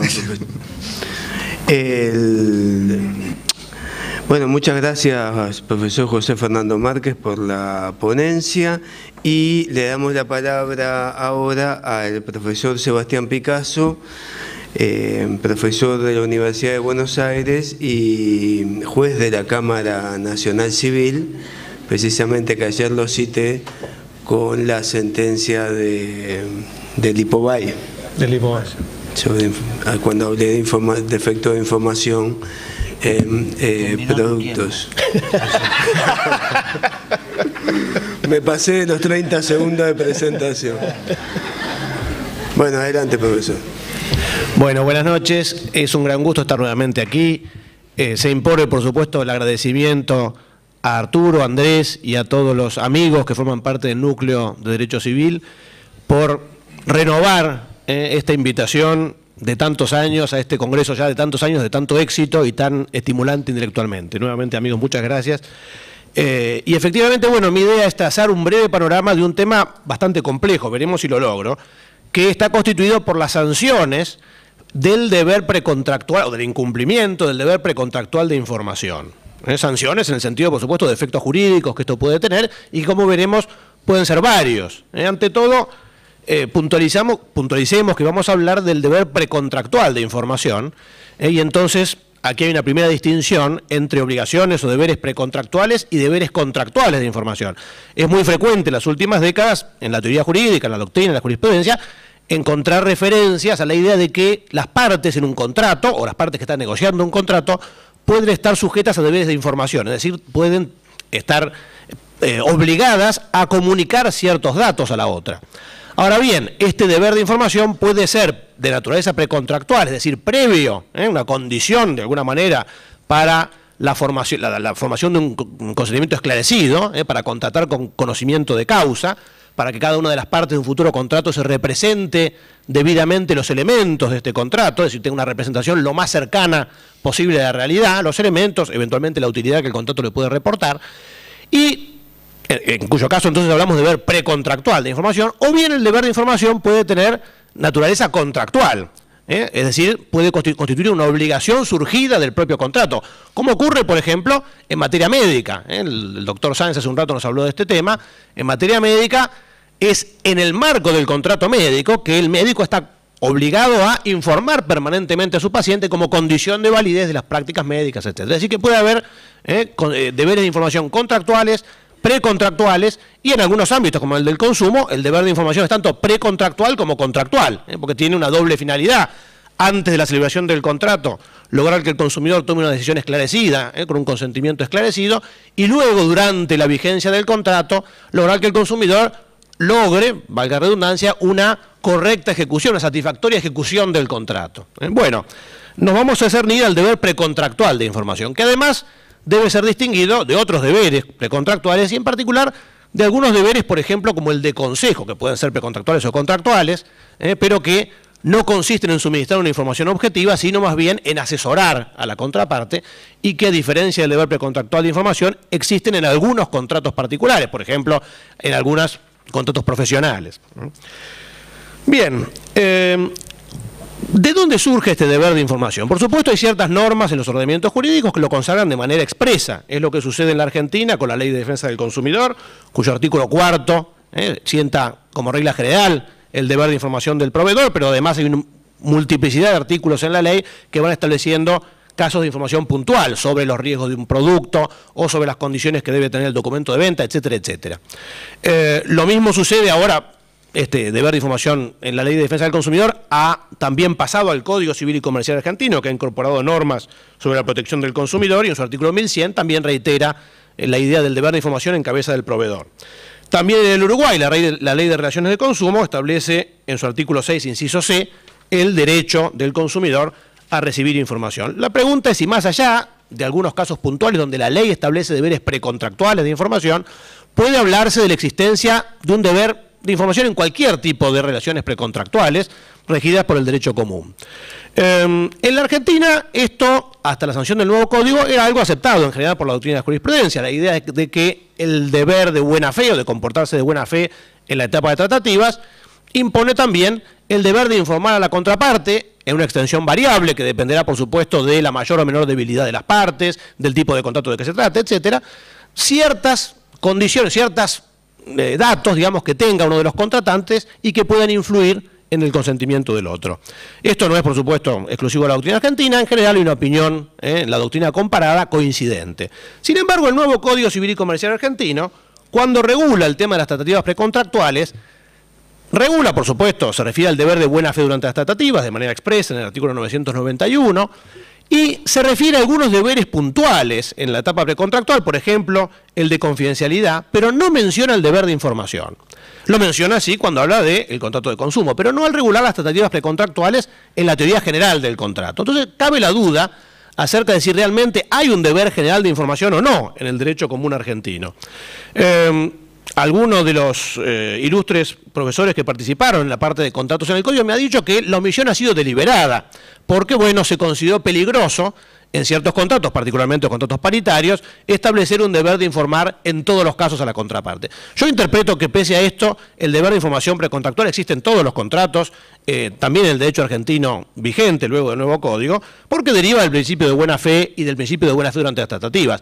Otra cosa distinta, vuelvo a decir, es la extensión de este deber que por supuesto estará muy atenuado cuando se trata de contratos paritarios y en cambio estará muy acentuado cuando hay disparidad entre las partes que intervienen.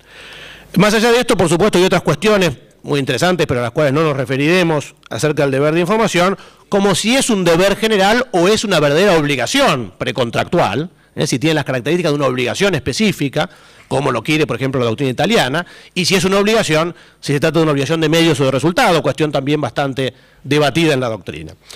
Eh, Hablaremos entonces, o refirámonos ahora puntualmente, a la cuestión de las sanciones frente al incumplimiento de este deber precontractual de información. En aquellos casos en que uno de los futuros contratantes debía suministrar a la otra cierta información precontractual y ha omitido hacerlo.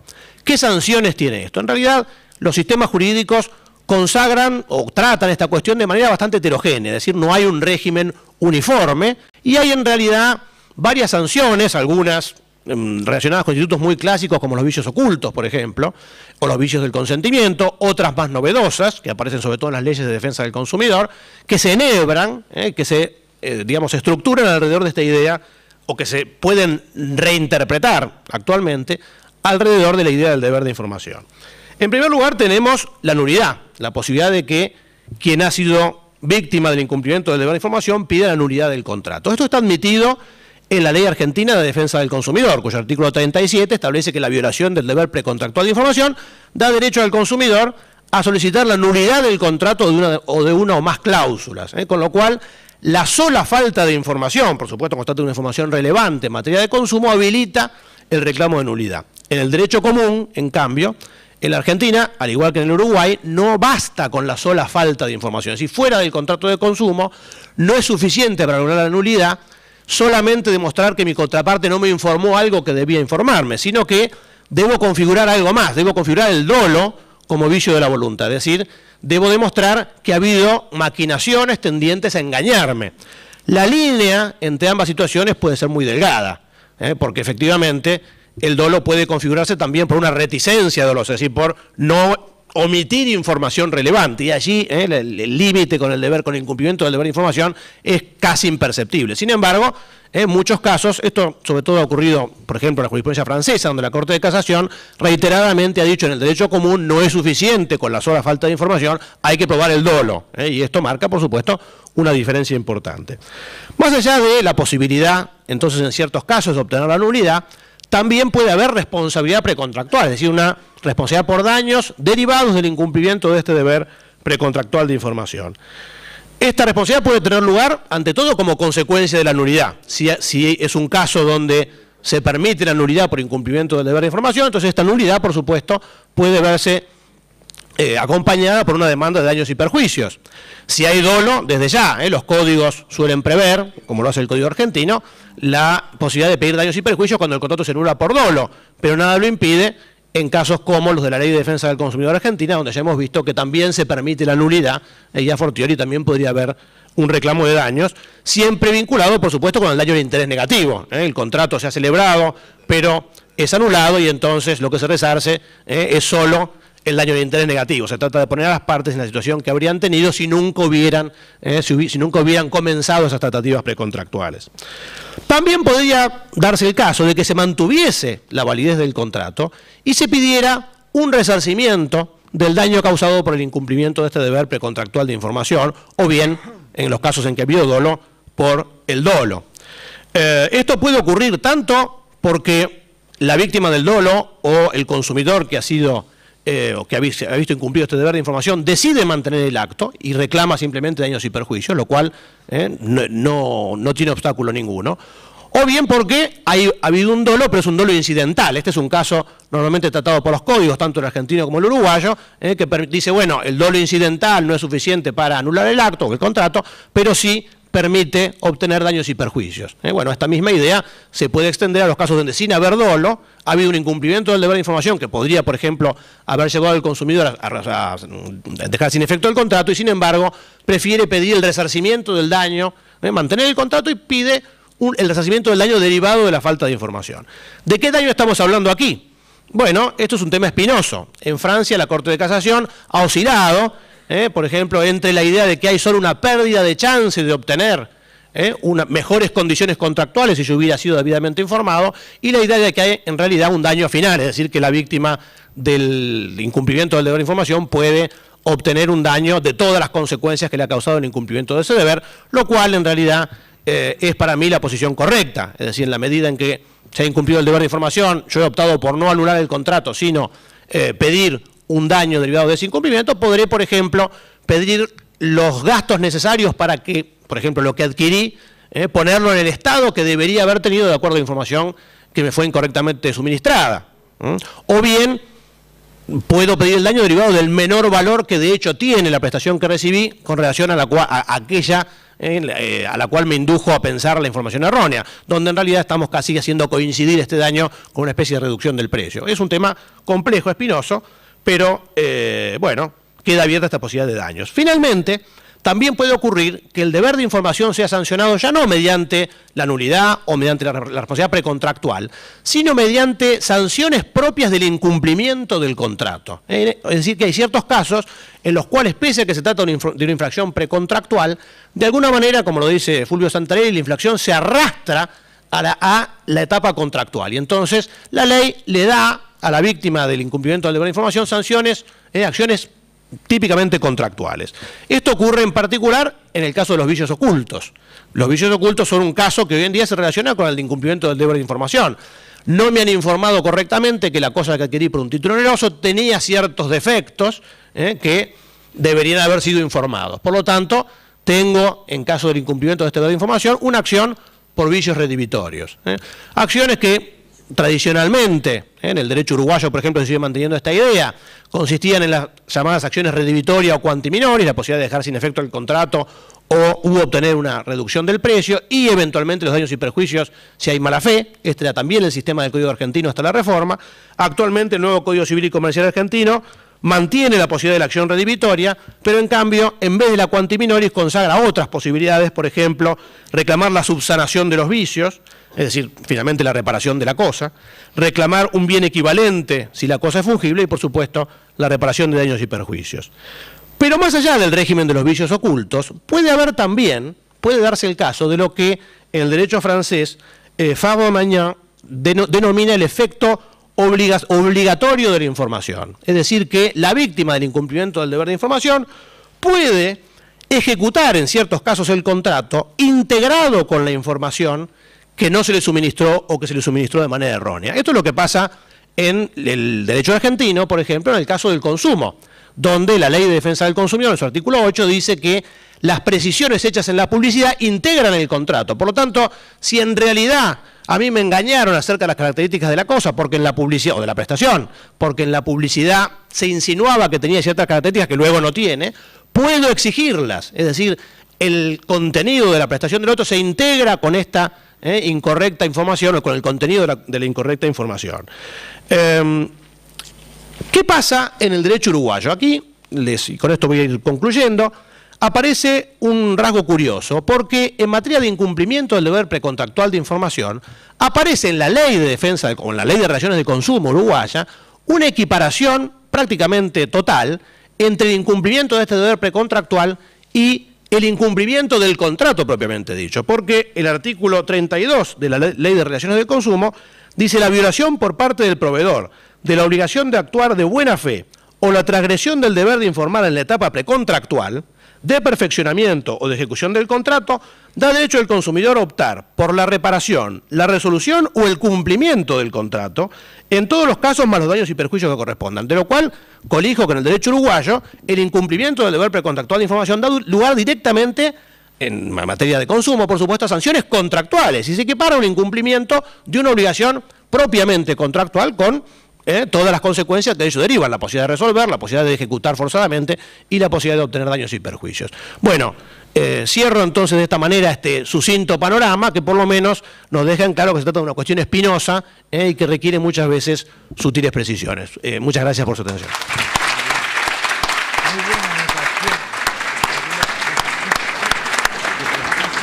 Bien, muchas gracias, profesor Sebastián Picasso. Y antes de darle la palabra al próximo panelista, eh, les queremos hablar del panel de la mañana de hoy, de la mañana de mañana, perdón, de la mañana de mañana, que van a estar los profesores Juan José Martínez Marcadal y Santiago Miranda de Udelar, y especialmente el, profesor José Luis Pérez Serlabona de la Universidad de Granada y Teresa Rodríguez Las Heras de la Universidad Carlos III de Madrid. Así que los invitamos porque va a ser un gran panel que, que tiene figuras de primer nivel internacional como los profesores españoles que he citado. Y ahora presento al profesor Arturo Caumón, profesor de la Universidad de la República, sobre el tema la transparencia como dimensión de la ética en derecho civil. Muchas gracias. Buenas noches. Agradezco nuevamente la oportunidad que me, dan de, de poder decir algunas palabras ahora en un panel y que a veces este, uno piensa que es mejor coordinar que, hablar en el panel, porque hablar en un panel implica una responsabilidad intelectual que cada vez es mayor y, que cada vez uno se aleja más de poder cumplirla. Así que trataré de hacer lo mejor que pueda al respecto. La transparencia siempre eh, me llamó la atención y por eso se lo propuse, eh, la propuse como tema a Andrés, como tema del Congreso ustedes saben... Ustedes saben que eh, nuestro idioma es afortunada o desafortunadamente polisémico, ¿no? Y ¿qué es eso? Sí, no es transparente, ¿no? Ustedes saben que, que nuestro idioma, decía, es esencialmente polisémico y de alguna manera puede ser afortunadamente polisémico o desafortunadamente polisémico. ¿Por qué? Porque hay mucha ambigüedad y vaguedad propiamente dichas desde nuestro idioma, desde los signos y transitivamente desde el discurso. Uno puede hablar de la semiótica de la moda como hacía Roland Barthes y la palabra transparencia implicaba la transparencia del, vestido que se portaba por la modelo que tenía un significado específico. ah, son los niños. Ah, bueno, bárbaro. No, hay, hay varios ciudadanos, niños, sí. Algunos reconocidos, otros no. Este, entonces, ¿qué es lo que ocurre? puede ser la transparencia este, en, la vestimenta. También puede, puede haber eh, transparencia dentro de esta corriente polisémica.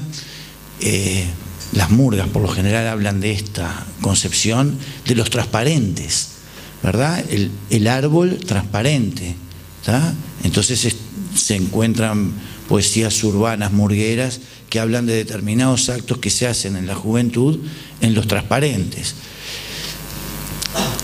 Pero también en derecho existe la trascendencia de la transparencia, a pesar de que, al menos en nuestro sistema central codificado, el vocablo transparencia no, no se utiliza. No se utiliza concretamente como transparencia, como vocablo, como unidad de, significación, pero hay infinidad de eh, situaciones jurídicas normativizadas que suponen o presuponen la transparencia y ella, la transparencia, como un género dentro, como una especie dentro de un género mayor que es la ética. Toda la base sobre la cual se erige un sistema jurídico que se precie de ser válido y eficaz en términos normativos, jurídicos eh, y extrajurídicos y extranormativos, siempre se va a erigir necesariamente sobre la ética, y la ética como conducta, como conducta de probidad.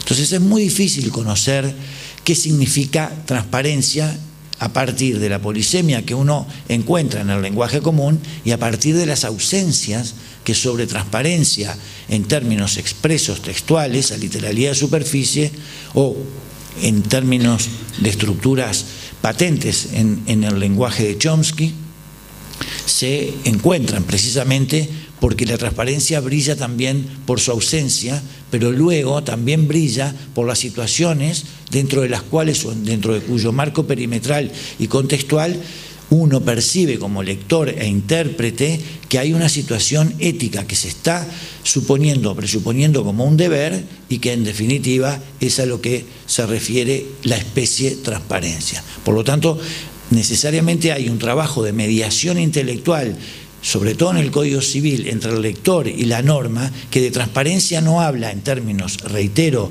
eh, textuales expresos, pero que presupone y está en el eh, hacedor de la interpretación del, del fenómeno tan delicado de la atribución de significados, hurgar ¿verdad? En las estructuras latentes, ahora sí también en el lenguaje de Chomsky, a ver qué es lo que uno está tratando de decir, en este caso el legislador, a partir o a través de la norma. La, la transparencia, reitero, como especie de la ética, puede ser referida entre otras hipótesis de trabajo o como modelo de investigación, tanto al aspecto negocial como al aspecto extranegocial, esto es, tanto al derecho de los negocios jurídicos como al derecho de daños. En la primera de las hipótesis, la transparencia con relación al derecho de los negocios jurídicos, nuestros códigos, pero ahora voy a tener que hablar específicamente del nuestro, no es transparente. E-, ese es un debe que tiene nuestro código pero es un debe que lo hereda Tristán Narvaja de, de la codificación napoleónica y de la preexistencia de normas y de plexos normativos, incluso de costumbres, sobre determinadas situaciones que necesariamente están alejadas de la transparencia. Por lo tanto, muchas veces, como decía Saussure, eh, a través de un opuesto yo puedo conseguir también la construcción de una concepción de la transparencia. Por ejemplo, nuestro código, como tantos otros, reitero, no es por un nacionalismo chauvinista, aunque sí lo es, eh, voy a hablar de, nuestro código y no del código de los ilustres visitantes que este, honran con su presencia nuestro Congreso. Pero nuestro código, sé que los demás también, por ejemplo, admiten la simulación.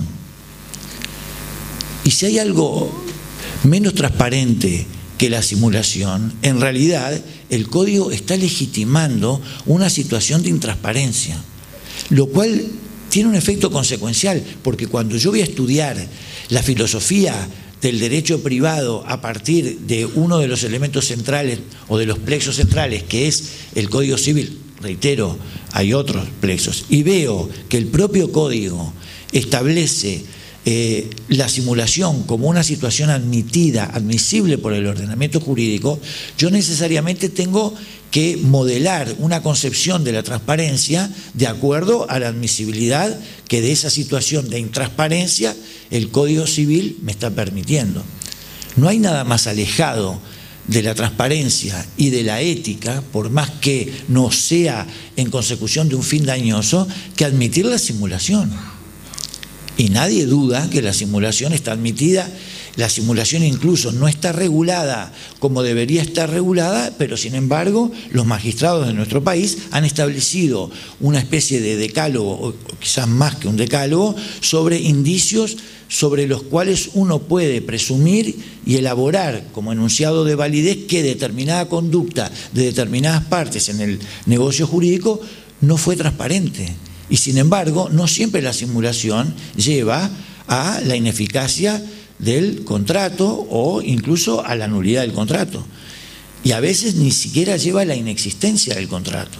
Así que de alguna manera hay una incidencia normativa en la transparencia a partir de admitir situaciones de intransparencia.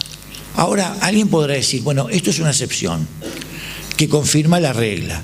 Sí, pero ¿cuántas excepciones debo entender yo eh, o detectar yo empíricamente para decir que la regla es una y determinadas excepciones no son sino la confirmación de la regla? Porque también hay eh, otra situación de intransparencia admitida por el código, de manera tal que capaz que no es una excepción porque se está repitiendo la admisión de la intransparencia. Por ejemplo, si a mí, que siempre me pasa, me venden cualquier buzón diciéndome de sus características y de las ventajas que tiene tener un buzón, yo no sé si ustedes saben las ventajas, les puedo trasladar ahora y revenderle el que yo tengo adquirido de hace tiempo, ¿verdad? Y probablemente me digan a mí un día que no hay ninguna nulidad en ese contrato porque el vendedor en realidad lo que hizo fue practicar el denominado dolo bueno. ¿Cómo puede haber un ordenamiento jurídico que se precie de transparente si se admite la simulación y si se admite el dolo bueno? En definitiva, se abren puertas que pueden llegar a hacer concluir al intérprete, que es el mediador entre el significado y el significante. El significante viene a ser la norma y el significado es el que el mediador entre el, valor de significación y la norma incide y dice esto es así o interpreto que esto es así, ¿cómo puede suceder cuando algo útil y algo probo y algo plausible, si hay dos situaciones que son de intransparencia y que el codificador las está admitiendo. Eso lleva también a, eh, conduce el razonamiento hacia, hacia otras orillas. Por ejemplo, ¿a qué tengo que atenerme como intérprete para detectar transparencias o intransparencias? Bueno, de la propia admisión de situaciones de intransparencia que tiene el código, uno se da cuenta que el código en realidad define intransparentemente la transparencia, una especie de juego de palabras, pero que tiene su sentido, diciéndole al intérprete que no debe atenerse a la literalidad de superficie o del discurso exteriorizado por el sujeto que está involucrado en la situación eventualmente de transparencia o de intransparencia, sino que el intérprete lo que tiene que hacer es analizar conductas. De manera tal que el vehículo que nos permite a nosotros detectar y luego elaborar una concepción de la transparencia y de su opuesto, la intransparencia, es a través del análisis de los comportamientos, no de lo que se exterioriza eh, por escrito o verbalmente respecto de lo que se va a dar, de lo que se va a hacer o de lo que, se, o de lo que no se va a hacer en materia de negocios jurídicos. Esto es muy importante y confirma esto respecto de la transparencia el hecho también presente en muchos códigos decimonónicos, pluma galana, rigor gramatical, rigor semiótico, cuando dicen que la conducta de los contrayentes posterior al perfeccionamiento del contrato sirve para ilustrar respecto de la, del espíritu, de la intención que ellos persiguieron cuando celebraron el pacto. De manera tal que también ahí hay una máxima de optimización, un imperativo de que uno tiene que detectar conductas y no atenerse excluyentemente a lo que las partes declararon o a lo que las partes declararon por escrito o a lo que las partes declararon verbalmente en materia de contratación la doctrina universal contemporánea, y cuando digo contemporánea no digo de los últimos años, por ejemplo, de la, ahí probablemente me esté equivocando, pero desde la mitad de la década, eh, de la década del 60 del siglo pasado, en Estados Unidos se preocuparon mucho por detectar cuáles eran las claves para eh, dirimir un problema de transparencia o de intransparencia. Entonces elaboraron lo que más o menos me parece que se puede elaborar acá, que es el análisis de las conductas. Ya Ian McNeil decía que un contrato no es una mera prestación o intercambio de servicios o de cosas, sino que también es un crisol de conductas que interrelacionan a dos sujetos que son, emprenden un, eh, eh, un empeño eh, asociativo no societario, en el sentido de que ambos tienen que converger, a pesar de que tengan intereses inmediatamente opuestos, tienen que converger como asociados para que cada uno de los intereses del otro y el del otro puedan llegar a buen fin, de manera tal que algo así, decía Ian McNeil y lo dice Dory Kimmel también en, la Universidad de Belfast, que un contrato relacional, esto es un contrato perspectivizado desde miras humanistas, es más una relación estable matrimonial o concubinaria o eh, sobre bases de principios del concubinazgo, como le digo yo, que una cana al aire, como pueden llegar a ser, por ejemplo, los contratos de ejecución instantánea, que es un touch and go contractual. ¿Verdad? Pero cuando los contratos son de ejecución continuada, el relacionamiento, el vínculo extendido en el tiempo, el tiempo como duración, además del tiempo como distancia, implican un esfuerzo común de ambas partes para lograr que cada una de ellas obtenga aquello que la condujo a precisamente contratar. Entonces hablamos, lo hablaba Betty en Italia, lo hablaba Ian McNeil, fíjense con, con sistemas distintos este, hablan precisamente del deber de cooperación, del deber de supererogación, del deber de mantener el contrato, esto es la norma jurídica que las partes elaboraron de acuerdo a su consentimiento.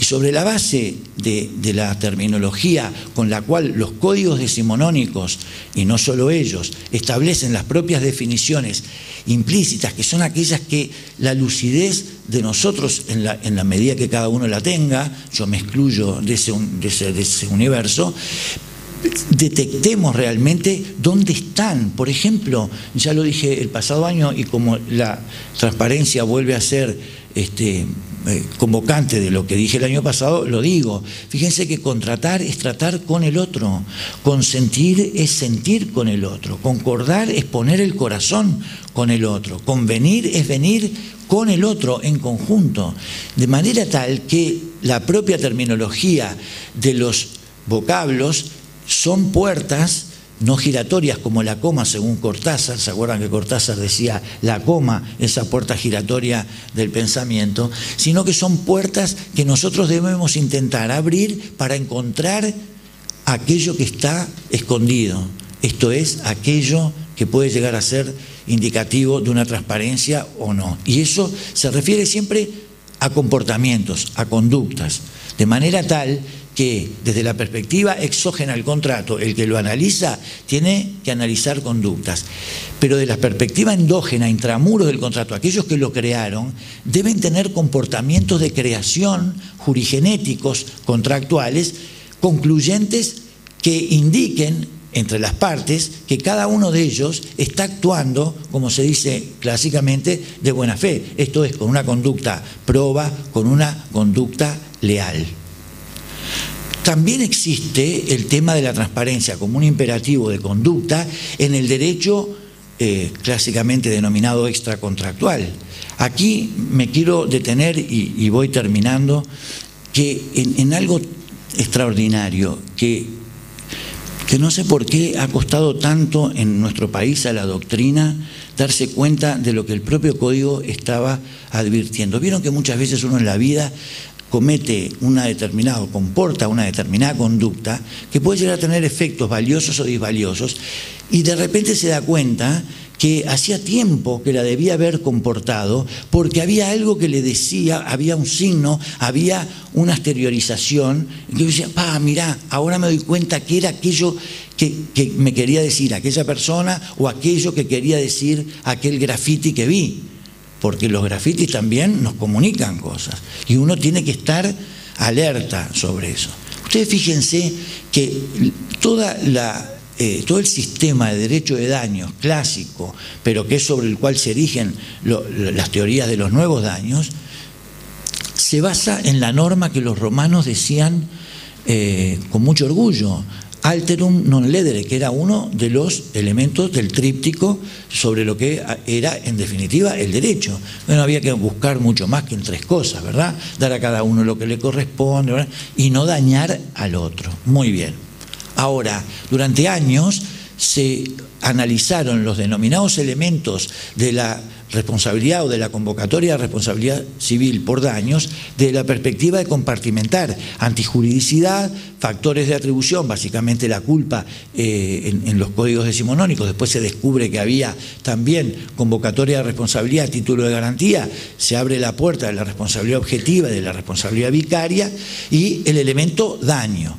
Pero de repente uno empieza a darse cuenta que en el discurso de aquellos que analizaban así el derecho de daños, también estaba presente el hecho de que en realidad el derecho de daños se basa, se erige sobre la base de no dañar al otro.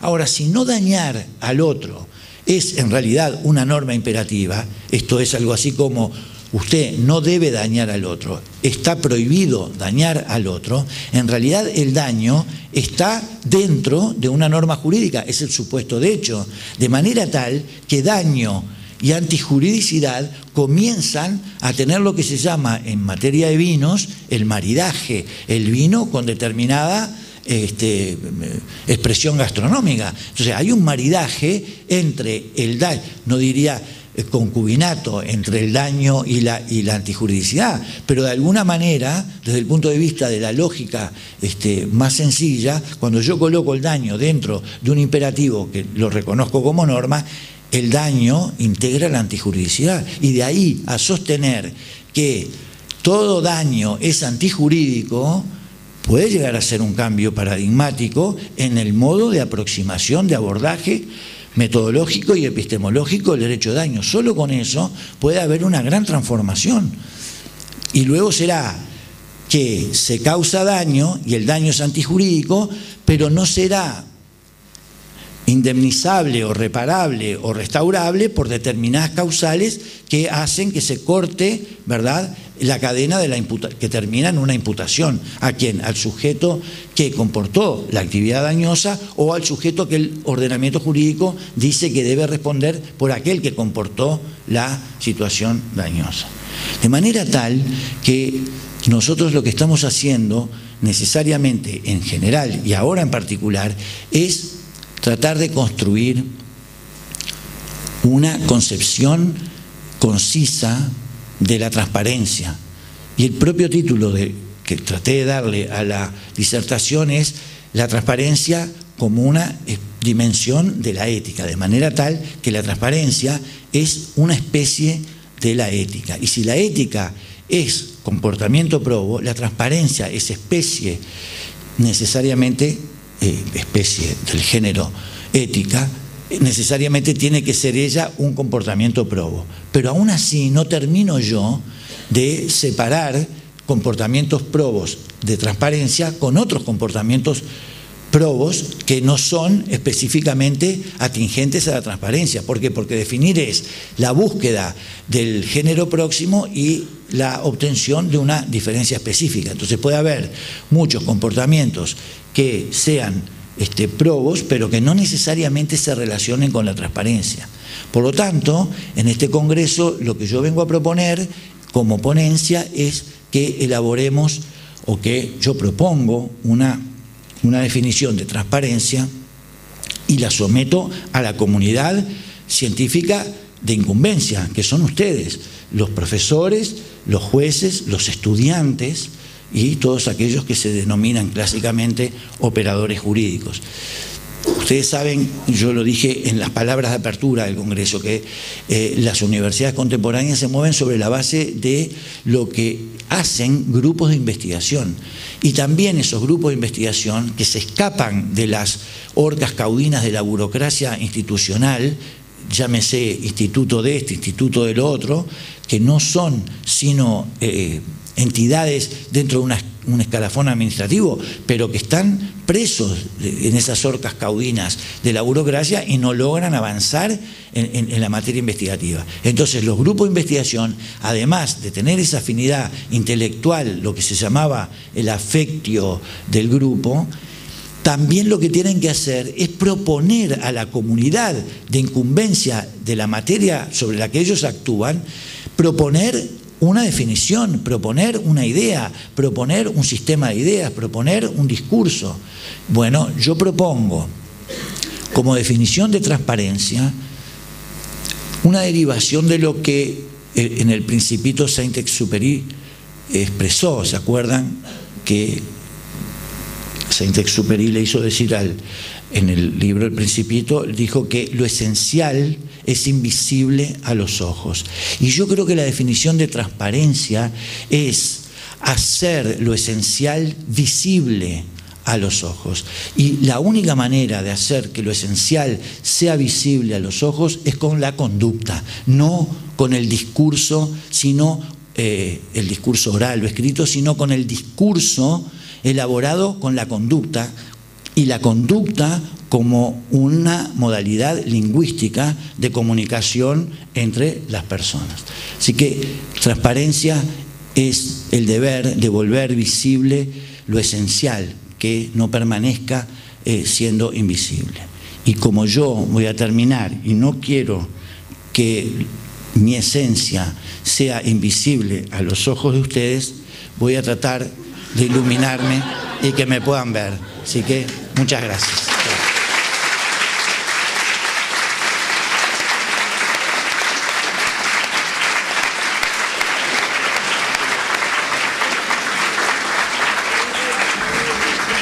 Bien, muchas gracias, profesor Caumón. Y con esta disertación damos por cerrado el panel y los esperamos mañana para el último panel del Congreso a las 10 de la mañana y luego la conferencia de apertura y el cierre del Congreso. Hasta mañana entonces.